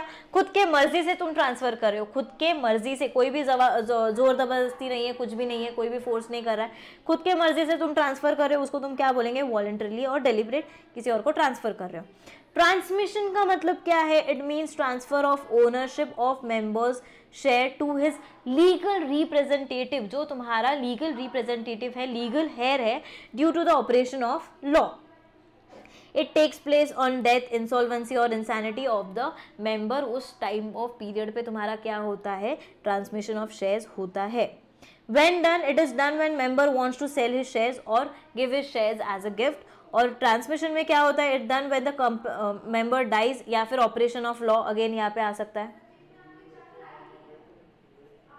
operation of law. Next, the nature of action. Nature of action it is voluntarily action taken by the member voluntarily again खुद के मर्ज़ी से एंड ट्रांसमिशन में it is in involuntarily action it is due to operation of law parties involve in transfer of share there are two parties involve the member who is called as transfer और the buyer is called as transferee दो parties है buyers और seller market भी हो, जो भी हो, कहाँ पे कहीं पे भी हो, दो पार्टीज़ तो होनी चाहिए। एक पार्टी रहेंगी तो काम तो होना नहीं है, काम तो बनना नहीं है। तो दो पार्टीज़ होनी चाहिए तो बायर को क्या बुलाएँगे तुम? ट्रांसफ़र ही बुलाएँगे और जिसको हम लोग दे रहे हैं शेयर उसको क्या बुलाएँगे तुम लोग? मतलब जो शेयर दे रहा है, उसको ट्रांसफरर और जिसको दे रहे हैं, उसको क्या बोलेंगे? ट्रांसफरी यहाँ पे there is only one party example nominee of the member in case of death of the member of the legal representative fifth point है instrument of transfer transfer requires instrument of transfer it is the contract between the transfer and the transferee और transmission में कोई भी नहीं है, क्योंकि खुद का लीगल रिप्रेजेंटेटिव ही है ना। तो अगर खुद का लीगल रिप्रेजेंटेटिव है तो तुमको किसी की क्या ज़रूरत लगेगी? कोई भी कॉन्ट्रैक्ट की या कोई भी चीज़ की क्यों ज़रूरत लगेगी? बराबर है कि नहीं? खुद का खून रहेगा तो खुद को ही भरोसा ही रहेगा ना। नेक्स्ट है initiated by transfer initiates the transfer process क्योंकि उसको देने है ना। आई द ट्रांसफरर मैं शेयर्स तुमको दे रही हूँ। मैं शेयर्स तुमको बेच रही हूँ मेरे। तुमको ट्रांसफ़र कर रही हूँ। वॉलंटरीली ट्रांसफ़र कर रही हूँ। तो प्रोसेस कहाँ से स्टार्ट होगा? मेरे से स्टार्ट होगा। That is I am the transferor and you are the transferee legal representative of official receivers initiates the process of transmission consideration trans consideration मतलब क्या? समथिंग इन रिटर्न यहाँ पे लिख लो, ध्यान में रख लो। Transfer of share is often done by members to receive some consideration that is buyer has to pay for the shares except given as a gift that is bonus. No consider is involved here the legal heir or official receiver need not pay for the shares. Last is the liability of the transferor ends and the share after the shares are transmitted और यहाँ पे original liability of the member continues in the case of transmission of share जो भी original इंसान है, उसकी liability continue होती रहती है. And the very last point that is stamp duty transfer of share में stamp duty as per the market value of share has to be paid और यहाँ पे no stamp duty is to be paid and yo we are done with our third chapter third chapter भी हमारा खत्म हो गया है. Third chapter भी हमारा ख़त्म हो गया है। मोस्ट प्रोबेबली कल हम लोग फोर्थ और फिफ्थ चैप्टर को ख़त्म करेंगे।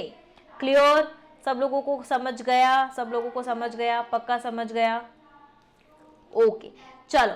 तो आई विश की जो भी हम लोगों ने आज पढ़ा हुआ है, फटाफट से मेरे को थम्स अप दो, फटाफट से मेरे को बताएँगे तुम लोग समझ गया है नहीं समझ गया।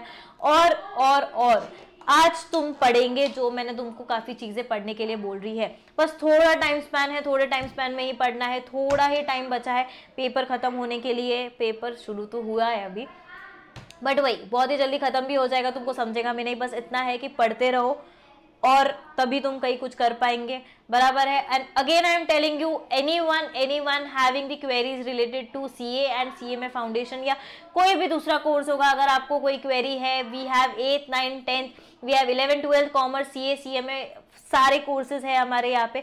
अगर कोई भी क्वेरी है, कोई भी क्वेरी है तो you can contact on the given number जो मैंने आप लोगों को दिया है। एंड अगेन रोज मैं ऑब्वियसली बताऊँगी, बोलूँगी तुमको, लेकिन अगेन ऑल द बेस्ट अच्छे से पढ़ो तुम लोग, अच्छे से करो, और अगर रिवाइज करोगे तो ही अच्छे मार्क्स मिलेंगे। एंड विद मोटिवेशन तुमको हर बार, हर दिन यही सोचना है कि you have to get very very very very good marks समझा?